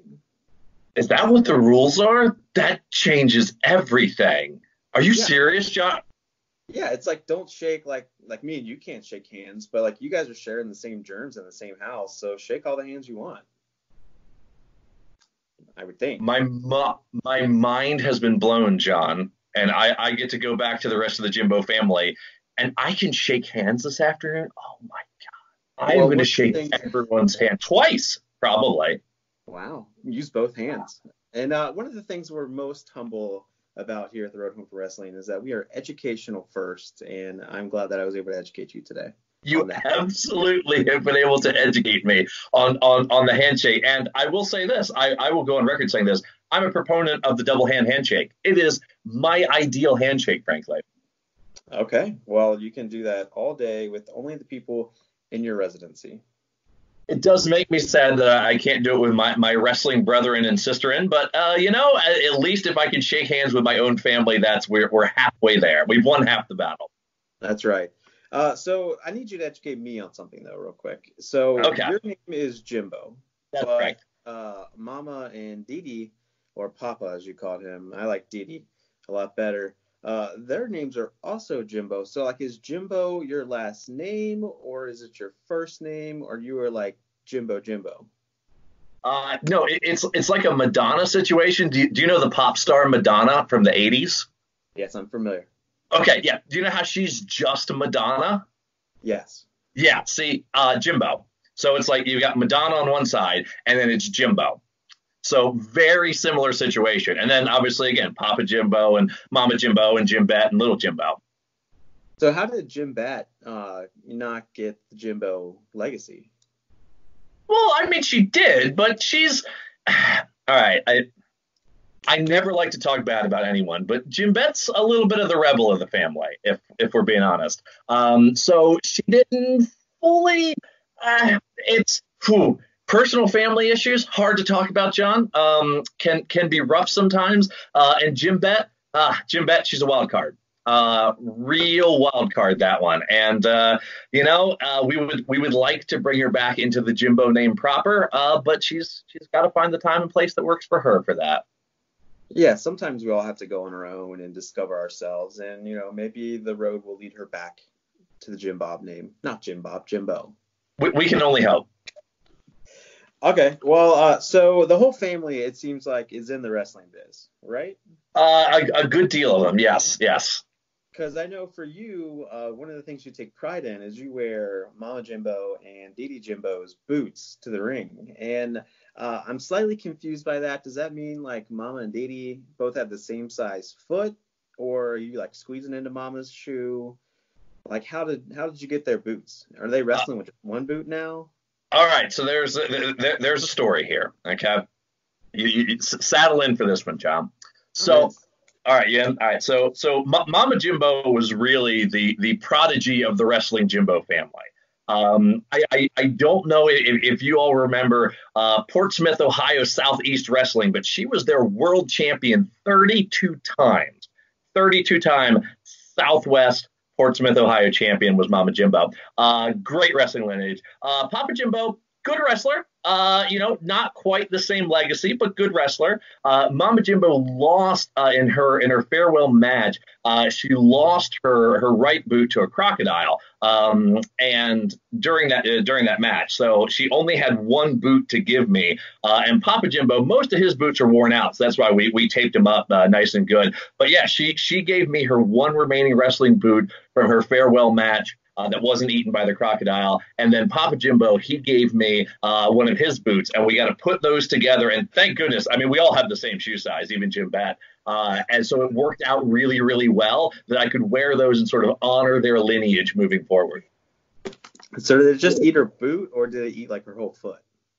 Uh, no, just the boot. No, she she got it out in time. Um, the the I mean, the sad thing was the the, alligator did win the match, uh, and that's how she lost her her, her last championship. Uh, but no, her her foot was intact. They only lost the boot. Okay, well, thank goodness, because that I, that story was ending tragically. I thought. Uh, yeah, no, no, no, no tragic ending. It was just, it was just her time. You know, I said she had, she had, she really wanted to have that 30 second title reign, and the fact that she, she got to have that, even if it was short lived, uh, and even if that filthy crocodile cheated during that match, she did get to have that 30 second reign, and that's what mattered. Okay, so it was very similar to like WrestleMania. I think it was 10 where Yokozuna beat Bret Hart for the title, and then Hogan came out and like threw powder in Yokozuna's face and then beat him for the chi- the championship belt. But everyone thought, oh, since he's the hero, like he didn't cheat, but he, he clearly did cheat. You know, I never thought about that, but I think that's almost exactly what happened if Hulk Hogan was a crocodile. I mean, some people would say he's a predator, but that's neither here nor there. Uh, so so you have uh you've been at uh you know the NWF for a little while now. Um, what made you decide to come to Bone Crushers to start training when you Yeah. had such a such a great influence at home who could have done it for you? Yeah, so obviously, you know, the, the, Southwest Portsmouth, Ohio Wrestling League uh, is is an incredibly prestigious league, I'm sure. Uh, but I, uh, you know, when I was looking to start training, I kind of looked around, and I lived in Cincinnati, uh, and kind of looked around a little bit to go, okay, kind of what's what's around here. Um, and I saw uh, obviously the NWF uh, and the NWF facilities, and I. Um, true story here went to went to one of their shows and it was um, it was a show this time, not this time, uh, about a little over a year ago. Um, it was Royal Rumble weekend. I remember that last year, uh, and I was like, I'm interested in in doing this this pro wrestling thing. You know, li- following the lineage of the rest of the Jimbo family. Yes. And uh, so I, I went to an NWF show and I was like, let me check this out because this this seemed really cool. Um, and I, I have a couple stark memories from that show. Uh, one being it was uh, Nikki Victory versus Jay Donaldson in a winner gets to remove his mask match. And I had no idea how to understand that sentence I just said as I was reading the poster. Um, and I was like, this sounds like the greatest thing in the world. And I went and I vividly remember the match uh, that, that they had. And and Jay, the the the cheating little devil that he is, he he won that and got to remove his mask. Uh, and then I also remember uh, uh, the, the Hollywood guys uh, were out there doing the match. I remember the three of them running around just in total rotten disregard for for anything of the rules. And I was like, well, someone needs to beat these people up clearly. And this place just seems like it's absolutely awesome. And this is where I want to train, and this is where I want to be a wrestler. Uh, so it was about a, a, a month or two after that uh, that I started started training. Uh, met, met Roger who of course who owns the place, and started training with the NWF. Okay, and so you mentioned I, I very vividly remember that show, and Nikki Victory and Jay Donaldson was a stellar match. Uh, but you mentioned the Hollywood Boys. Yeah. And, uh, I hear, you know, as of late, you've had your run-ins with him, and you've been completely starstruck by Adam Swayze. And uh, you know, how's that been being able to interact with your your idol like that? Okay, so this is th- th- this is kind of embarrassing. Okay, John, um, I'm gonna I'm gonna have to admit this. So while wh- while Swayze doesn't always use the best means uh, when he's wrestling, and he should obey the rules a lot more than what he does, and he shouldn't. Frankly, he's a great wrestler. He doesn't need the help of Rex or Gideon. But I'm I'm I'm, I'm going on a tangent. Um, I I was always a big fan of Adam Swayze. I was a huge fan of Adam Swayze. After that first show I watched, I was like, this is the guy. Uh, I I just was was flabbergasted, and so it was my second ever wrestling match, and I was supposed to uh, wrestle Rex, uh, and I was excited for that too because Rex is, I mean, just a giant of a man. Uh, and again, I've been, been, wrestling my, uh, my my cow Betsy since I mean before I was knee high to her. Uh, so wrestling Rex was pretty much like the same thing, and it was great. Uh, but uh, Rex uh, got himself uh, not half stupid the night before at an NWF show. Uh, so when I, I confronted him, like, hey, we're going to do the match, he was like, hey, I, I ain't going to quite pull it off tonight. So I then was like, well, if I can't wrestle one Hollywood, can I, I wrestle the other? And me and Swayze got to have a match. It was my, my second ever match. And I was I can't tell you how nervous I was about that because I was like, this is the guy that I saw, you know, at that point, whatever it was, seven, eight months ago. Uh, and one of the people who was like, I want to get into wrestling because of uh, because of Swayze, and I'm getting to have a match with him. Uh, and we had a, a fantastic match. Uh, for the record, I did win that match, uh, which is what allowed me to get a title match against Rex the the, the next time we were uh, there at Future Stars, uh, and then got to got got to wrestle that that giant and have that fantastic match as well as uh, Rex is. Oh, Rex is a strong bull, uh, and me, me, me and him, uh, we, we, we laid into each other, and I was so close to that unified title, but didn't didn't end up happening. So yeah, my, my interactions with the uh, with, with the Hollywood group has been uh has been, has been you know overall really good. Uh, if they didn't cheat, I would be a lot happier with them. And I think maybe maybe if they come down to Portsmouth a little bit and work at the farm with me, maybe we can teach them some good ethics. So do you have a better win loss record over Bessie or is it Bessie or Betsy? Betsy. Betsy, do you have a better win loss record over Betsy or Rex at this point? Oh, uh, I'd have to think about my one with Rex is, but Betsy, it's it's hard to get a pin on Betsy.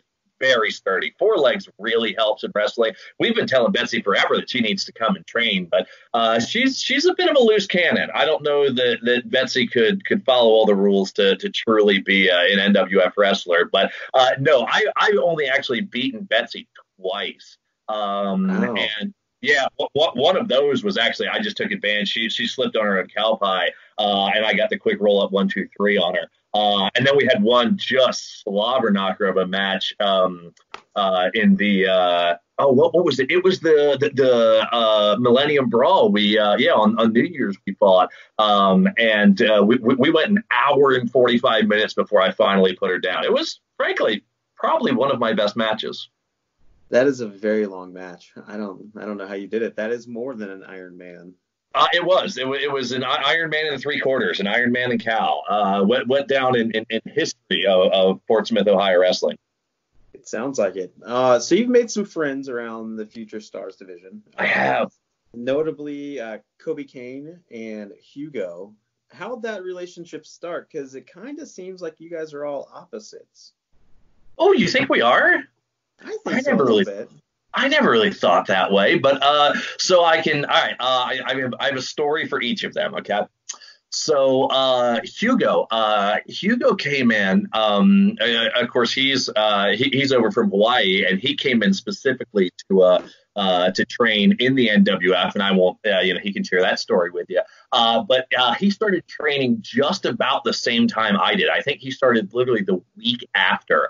Uh, so me and him were very much training buddies early on. We we had a, a group we called we called the New Crew that all sort of came together around the same time last year to start training at the NWF. And um, me and Hugo always really got along well. Uh, we got a debut uh, in the same match at FanFest last year, uh, and then it was a couple weeks after that we both got to have our first singles matches on the debut. Uh, and Hugo is he he is what NWF wrestling is. He he is an honorable wrestler. He's an incredible talent. Uh, just an unbelievably uh, good guy. And uh, so Hugo, me and him were, were sort of kindred spirits from day one.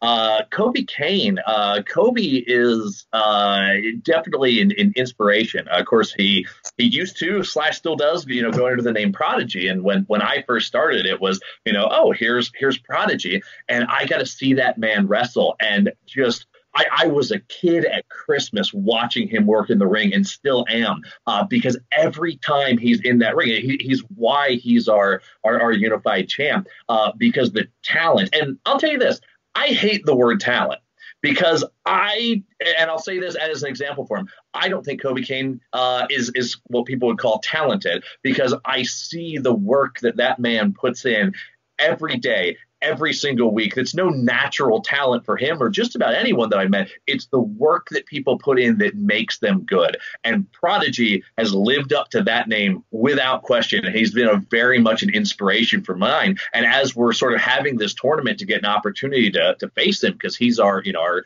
our new champion going into this new era, I'm I'm so excited. I've got one more hurdle that I have to get to and really focus on. Uh, but if I can, if I can beat Icon at the next show, I get a chance to go against Kobe Kane for that unified title. And like I said, I only had one other opportunity against Rex, but uh, me and Kobe Kane getting an opportunity to uh, hold hold that belt in the future and the next generation of the future stars. Uh, I'm I'm I'm getting little goosebumps here just talking about it.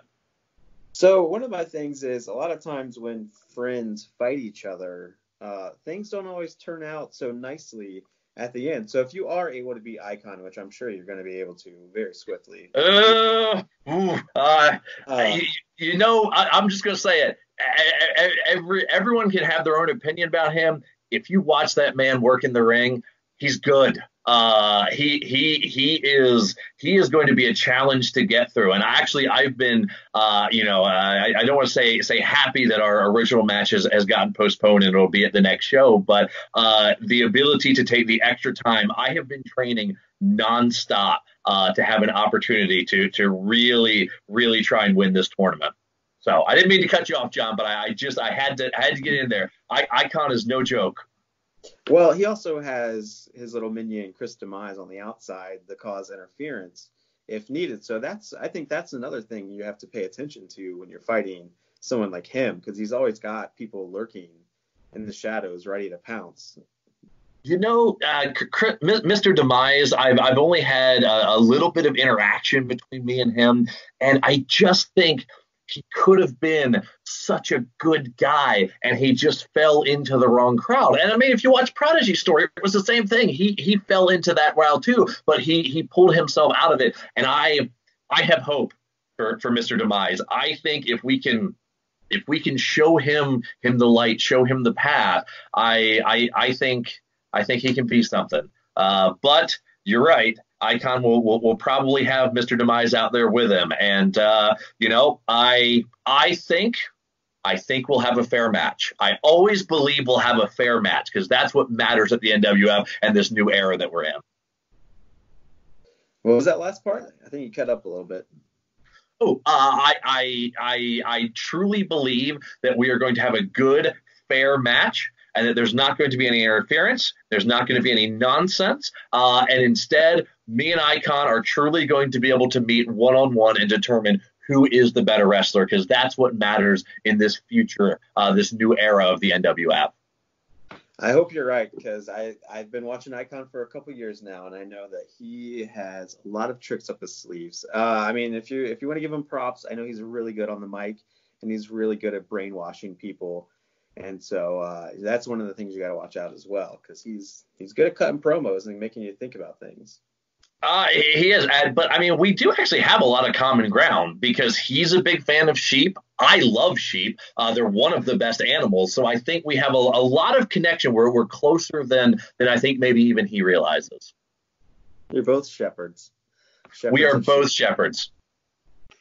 Good. Uh, but back to Kobe Kane originally. Uh, a lot of times when friends fight, like they they don't turn out uh, things things on the other end don't come out smoothly. A lot of times there's animosity that builds up. So how are you going to be able to, if you do get a chance to fight Kobe Kane, how are you going to keep, you know, your friendship aside from the title match?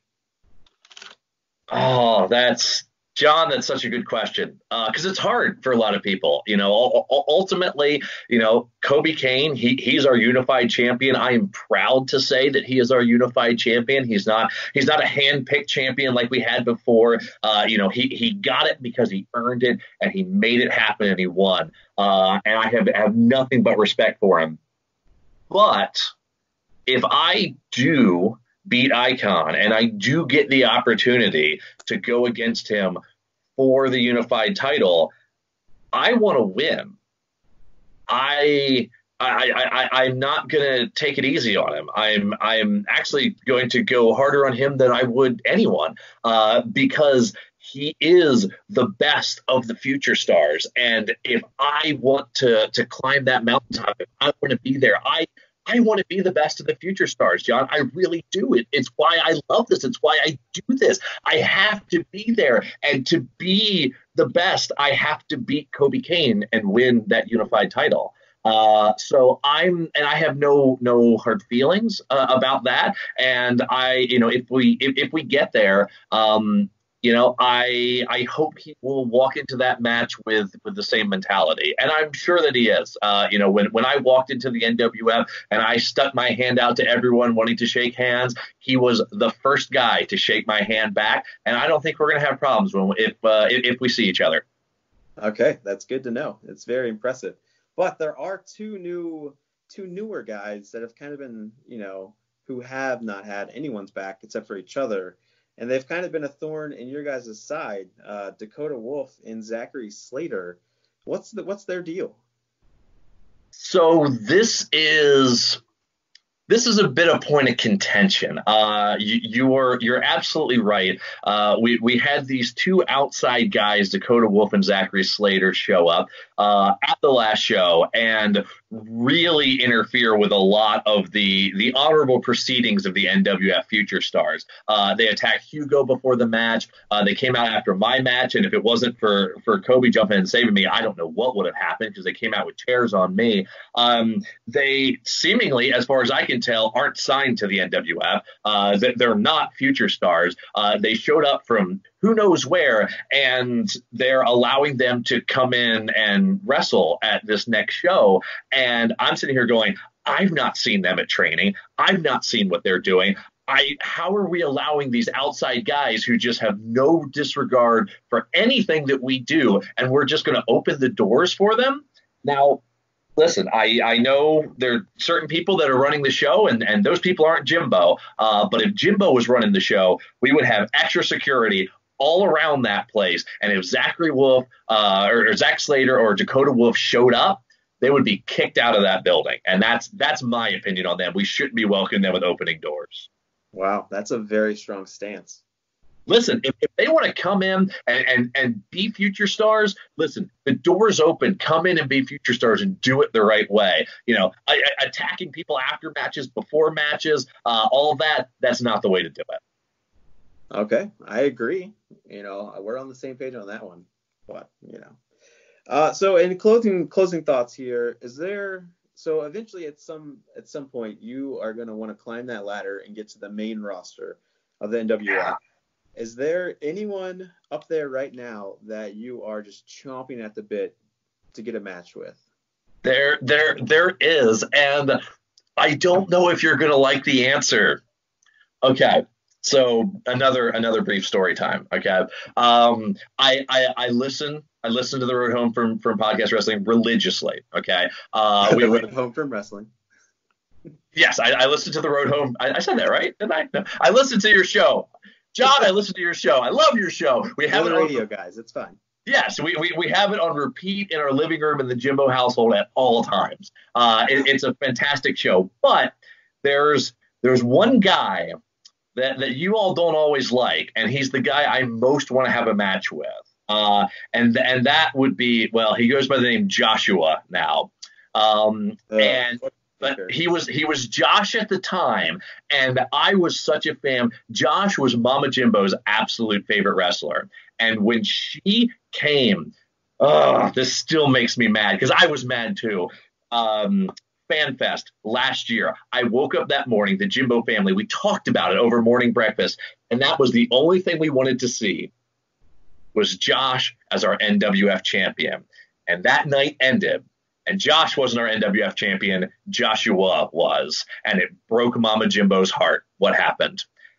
I want to avenge the breaking of Mama Jimbo's heart, and I want a match with Joshua. I don't care about the title. I don't need anything like that. I need to to to to beat some nice back in Joshua, and that's the guy that I want to wrestle on the main roster.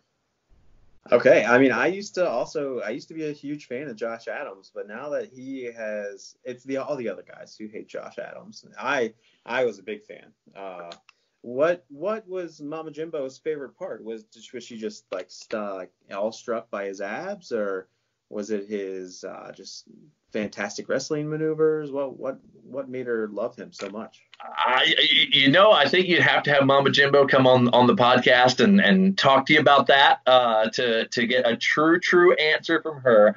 Um, but uh, I, I I'm not gonna lie. I uh, I, I I think she uh she, she fancies herself a handsome man. And uh, listen, hey, not, nothing nothing wrong with that. Nothing wrong with that. Uh, and uh, and and maybe that was was part of the part of the factor in there. Okay, yeah. I mean, I I you know, no shame on her.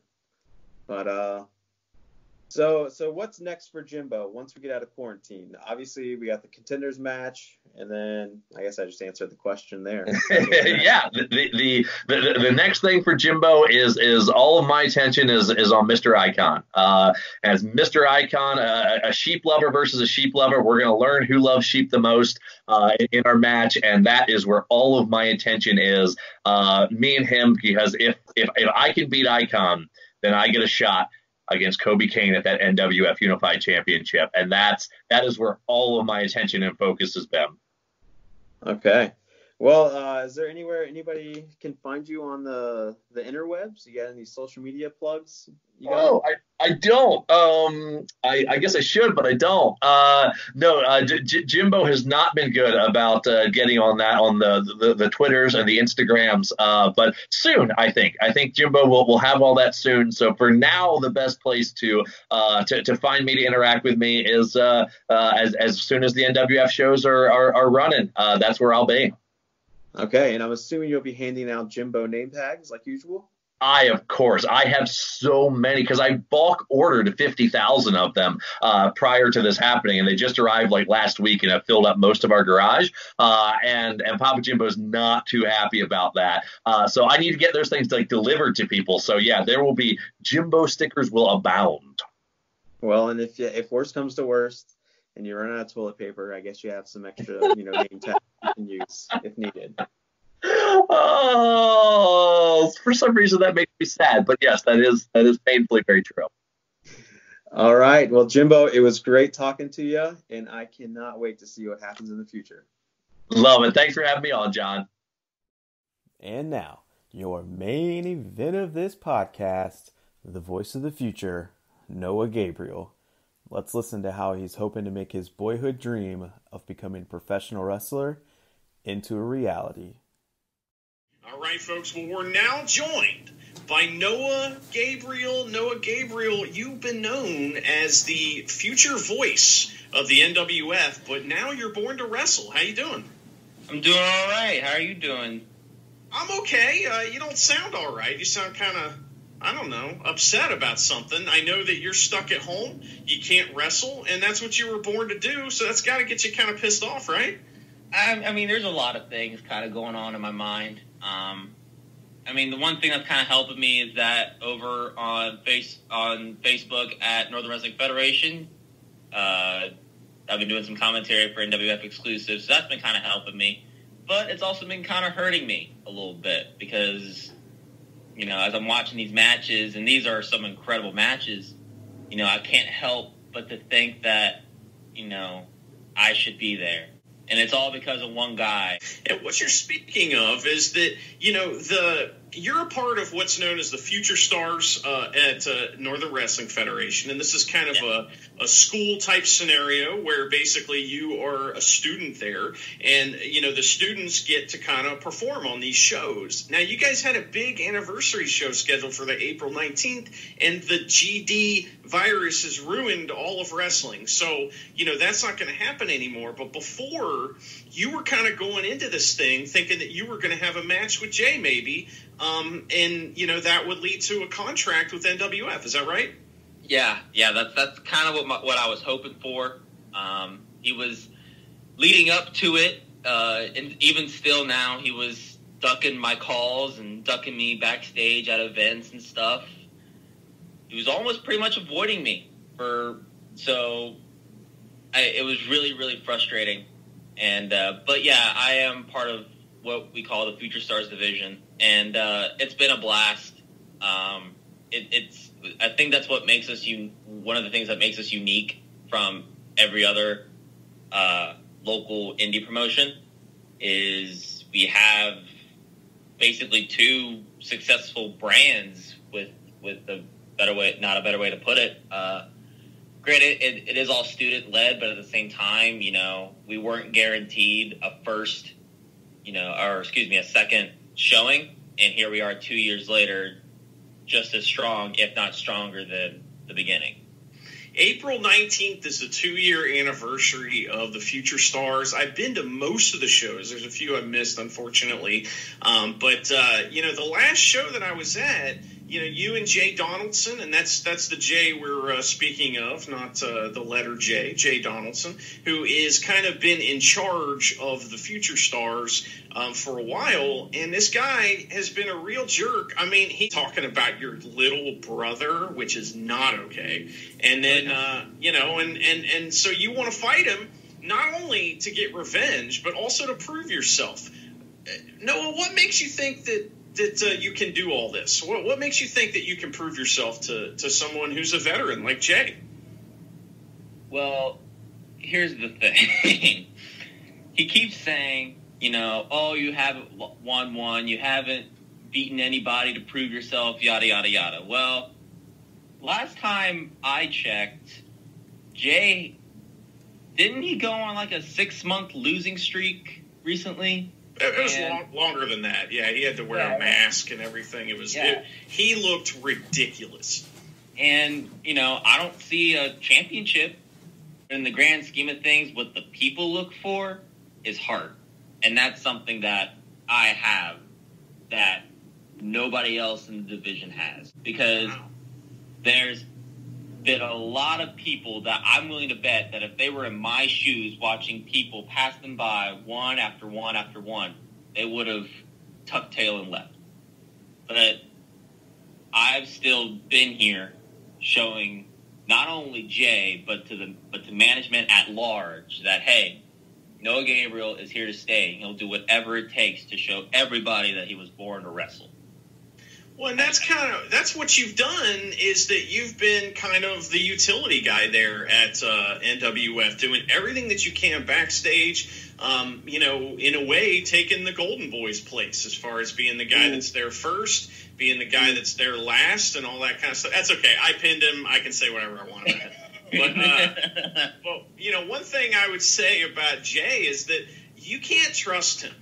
You know, he just recently turned on people that he has claimed are his best friends, people that he was protected with. One guy, um, you know, uh, Nate Peel, and uh, you know, and, and the champion, he's turning on these guys. He's a flip flopper. You don't know what he's going to do next. How do you think that this kind of change of heart? Uh, you know, between Jay and some of these guys is going to affect you, or is it all a ruse? Dude, this is something that kept me up at night thinking about it. Because on one hand, on the surface that is, it looks great. You you you see this guy who's finally turned over a new leaf, but at the same time that I was at the same time it's hard to accept a guy who's acted the way he's acted to change like that. You know what I mean? And he's still, even after him changing who he is, he's still ducking me. He's still not answering my text messages. He's still not giving me an answer. If he really changed and now is the person who he says he is, don't you think he would have at least given me something? But no. No, he's a liar. He says he's 22. He's obviously not 22. Okay, you know. He, we've all kind of accepted the fact that he's not 22 except him, so it's fine. Yeah, yeah. But you know, it it's just frustrating. Well, I, you know, I have a hard question for you, Noah, and I can't call myself a legitimate journalist, which is 100% what I am, uh, without asking you this question, and that is, why is it all about Jay? Why isn't this all about you? Why are you blaming Jay for all your problems and not taking personal responsibility for your problems? And again, that's just the devil ad, devil's advocate in me asking that question. I I think you're right, but I'm not asking for much. I'm asking for one opportunity to show everybody that I have what it takes to become a wrestler. And this is going to sound super cliche and super cheesy, but it's the God honest truth. Pro wrestling has been my dream ever since I was four years old. And I've fought for it hard, and I feel like it's being taken away from me. Pro wrestling is my escape. It's my it, it, it's my antidepressant. It's my escape from all the stresses in the world.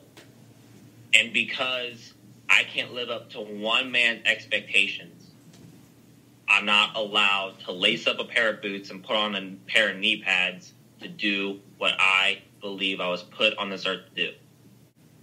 And, you know, everybody, and when I say everybody, I mean the Future Stars locker room. Some of the guys have said, you know what, you st- stay in there, keep your head high, you're going to get there one day. But again, they don't know what it's like to be in my shoes. If you were in my position, you'd be asking the same way. And it's all because I can't live up to one guy's expectation.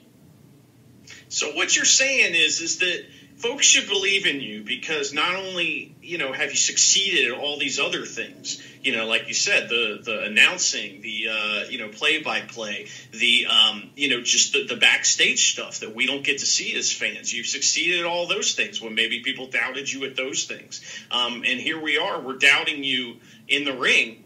And maybe we shouldn't, you know. Uh, maybe it's one of those things where um, you give someone like Noah a chance, um, and it's it's you know the type of situation where you're going to surprise us, and that's uh, that's what wrestling's all about. You know, is uh, subverting expectations and and helping people look amazing, and that, that's kind of what it's all about. So it sounds like that you're ready to subvert some expectations, and you're ready to earn that spot whenever we get back to what we all love to do best. Is that right? Absolutely. And just as a quick shout, don't make it seem like I'm, you know, not grateful for being an announcer. I've had great time. I've had a great time doing announcing. I've, you know, had a lot of memories created, but at the same time, you know, I've always had that itch. I've always had that what if, and I think now it's. I think now is the time to capitalize on it. Outstanding. Well, Noah, I believe in you, you know, but I had to ask you the tough questions. Like I said, it's part of my job, you know. Hey, it, it threw me a little off guard, but you know, we got through it. well, I, I would have to throw away my master's in journalism if I didn't ask those questions, and I absolutely have a master's in journalism, and I'm not willing to throw it away. So, um, Where'd you from? um, you know, the the podcasting school. It's uh the Oh, yeah, yeah, yeah, I know the one. I know the one. it's, uh, it's uh, PU Podcasting University. That's where I got it. So, um, so uh, anyway, well, Noah, um, where can folks find you? Where can they watch Northern Wrestling Federation while uh, we're all cooped up inside? All right, so we'll do the Northern Wrestling Federation question first. Uh, so the NWF has been putting out a match a night, and we got a lot of great matches lined up through uh, through all out this week. Um, you can like them on Facebook and Northern Wrestling Federation. Uh, you can also follow them on Instagram and Twitter at NWF Wrestling. Uh, you can also follow the Future Stars on Instagram and Twitter at Future Stars NWF. Oh, excuse me. and uh, follow us at on our uh, group in, on Facebook for Future Stars, Northern Wrestling Federation Future Stars Army. And then me, uh, you can follow me on Twitter and Instagram at Noah G underscore 2099. folks uh, you know need to come out to these shows. They're a lot of fun when everything starts rolling again. And uh, you know i'm excited to be just a little part of helping you guys celebrate the anniversary uh, in a way that you weren't expecting but hopefully in a way that'll be fun. Noah do you have any questions for me or any uh, any other messages for our guests or for our listeners? Uh, well, you told me uh, that Jay may or may not be part of this, and if he is listening back, I just want him to know that I'm not going anywhere. I will one day wrestle for you. It's only a matter of when, not if. That's right. There you go, Jay, and your stupid face. So uh, awesome. Well, thanks so much, Noah. Uh, we'll see you around. All right. All right. Thank you. Thank you so much for joining us today on this Northern Wrestling Federation Future Stars Extravaganza episode. I hope you really enjoyed it and help uh, these kids celebrate their second year of doing what they love to do. Uh, you can follow our show at the Road Home FW on Instagram, Twitter, and Facebook. You can follow me at Drewcifer Tweets on Twitter, and you can follow John at JHat05. Thank you guys so much for listening, and we'll see you on the road home.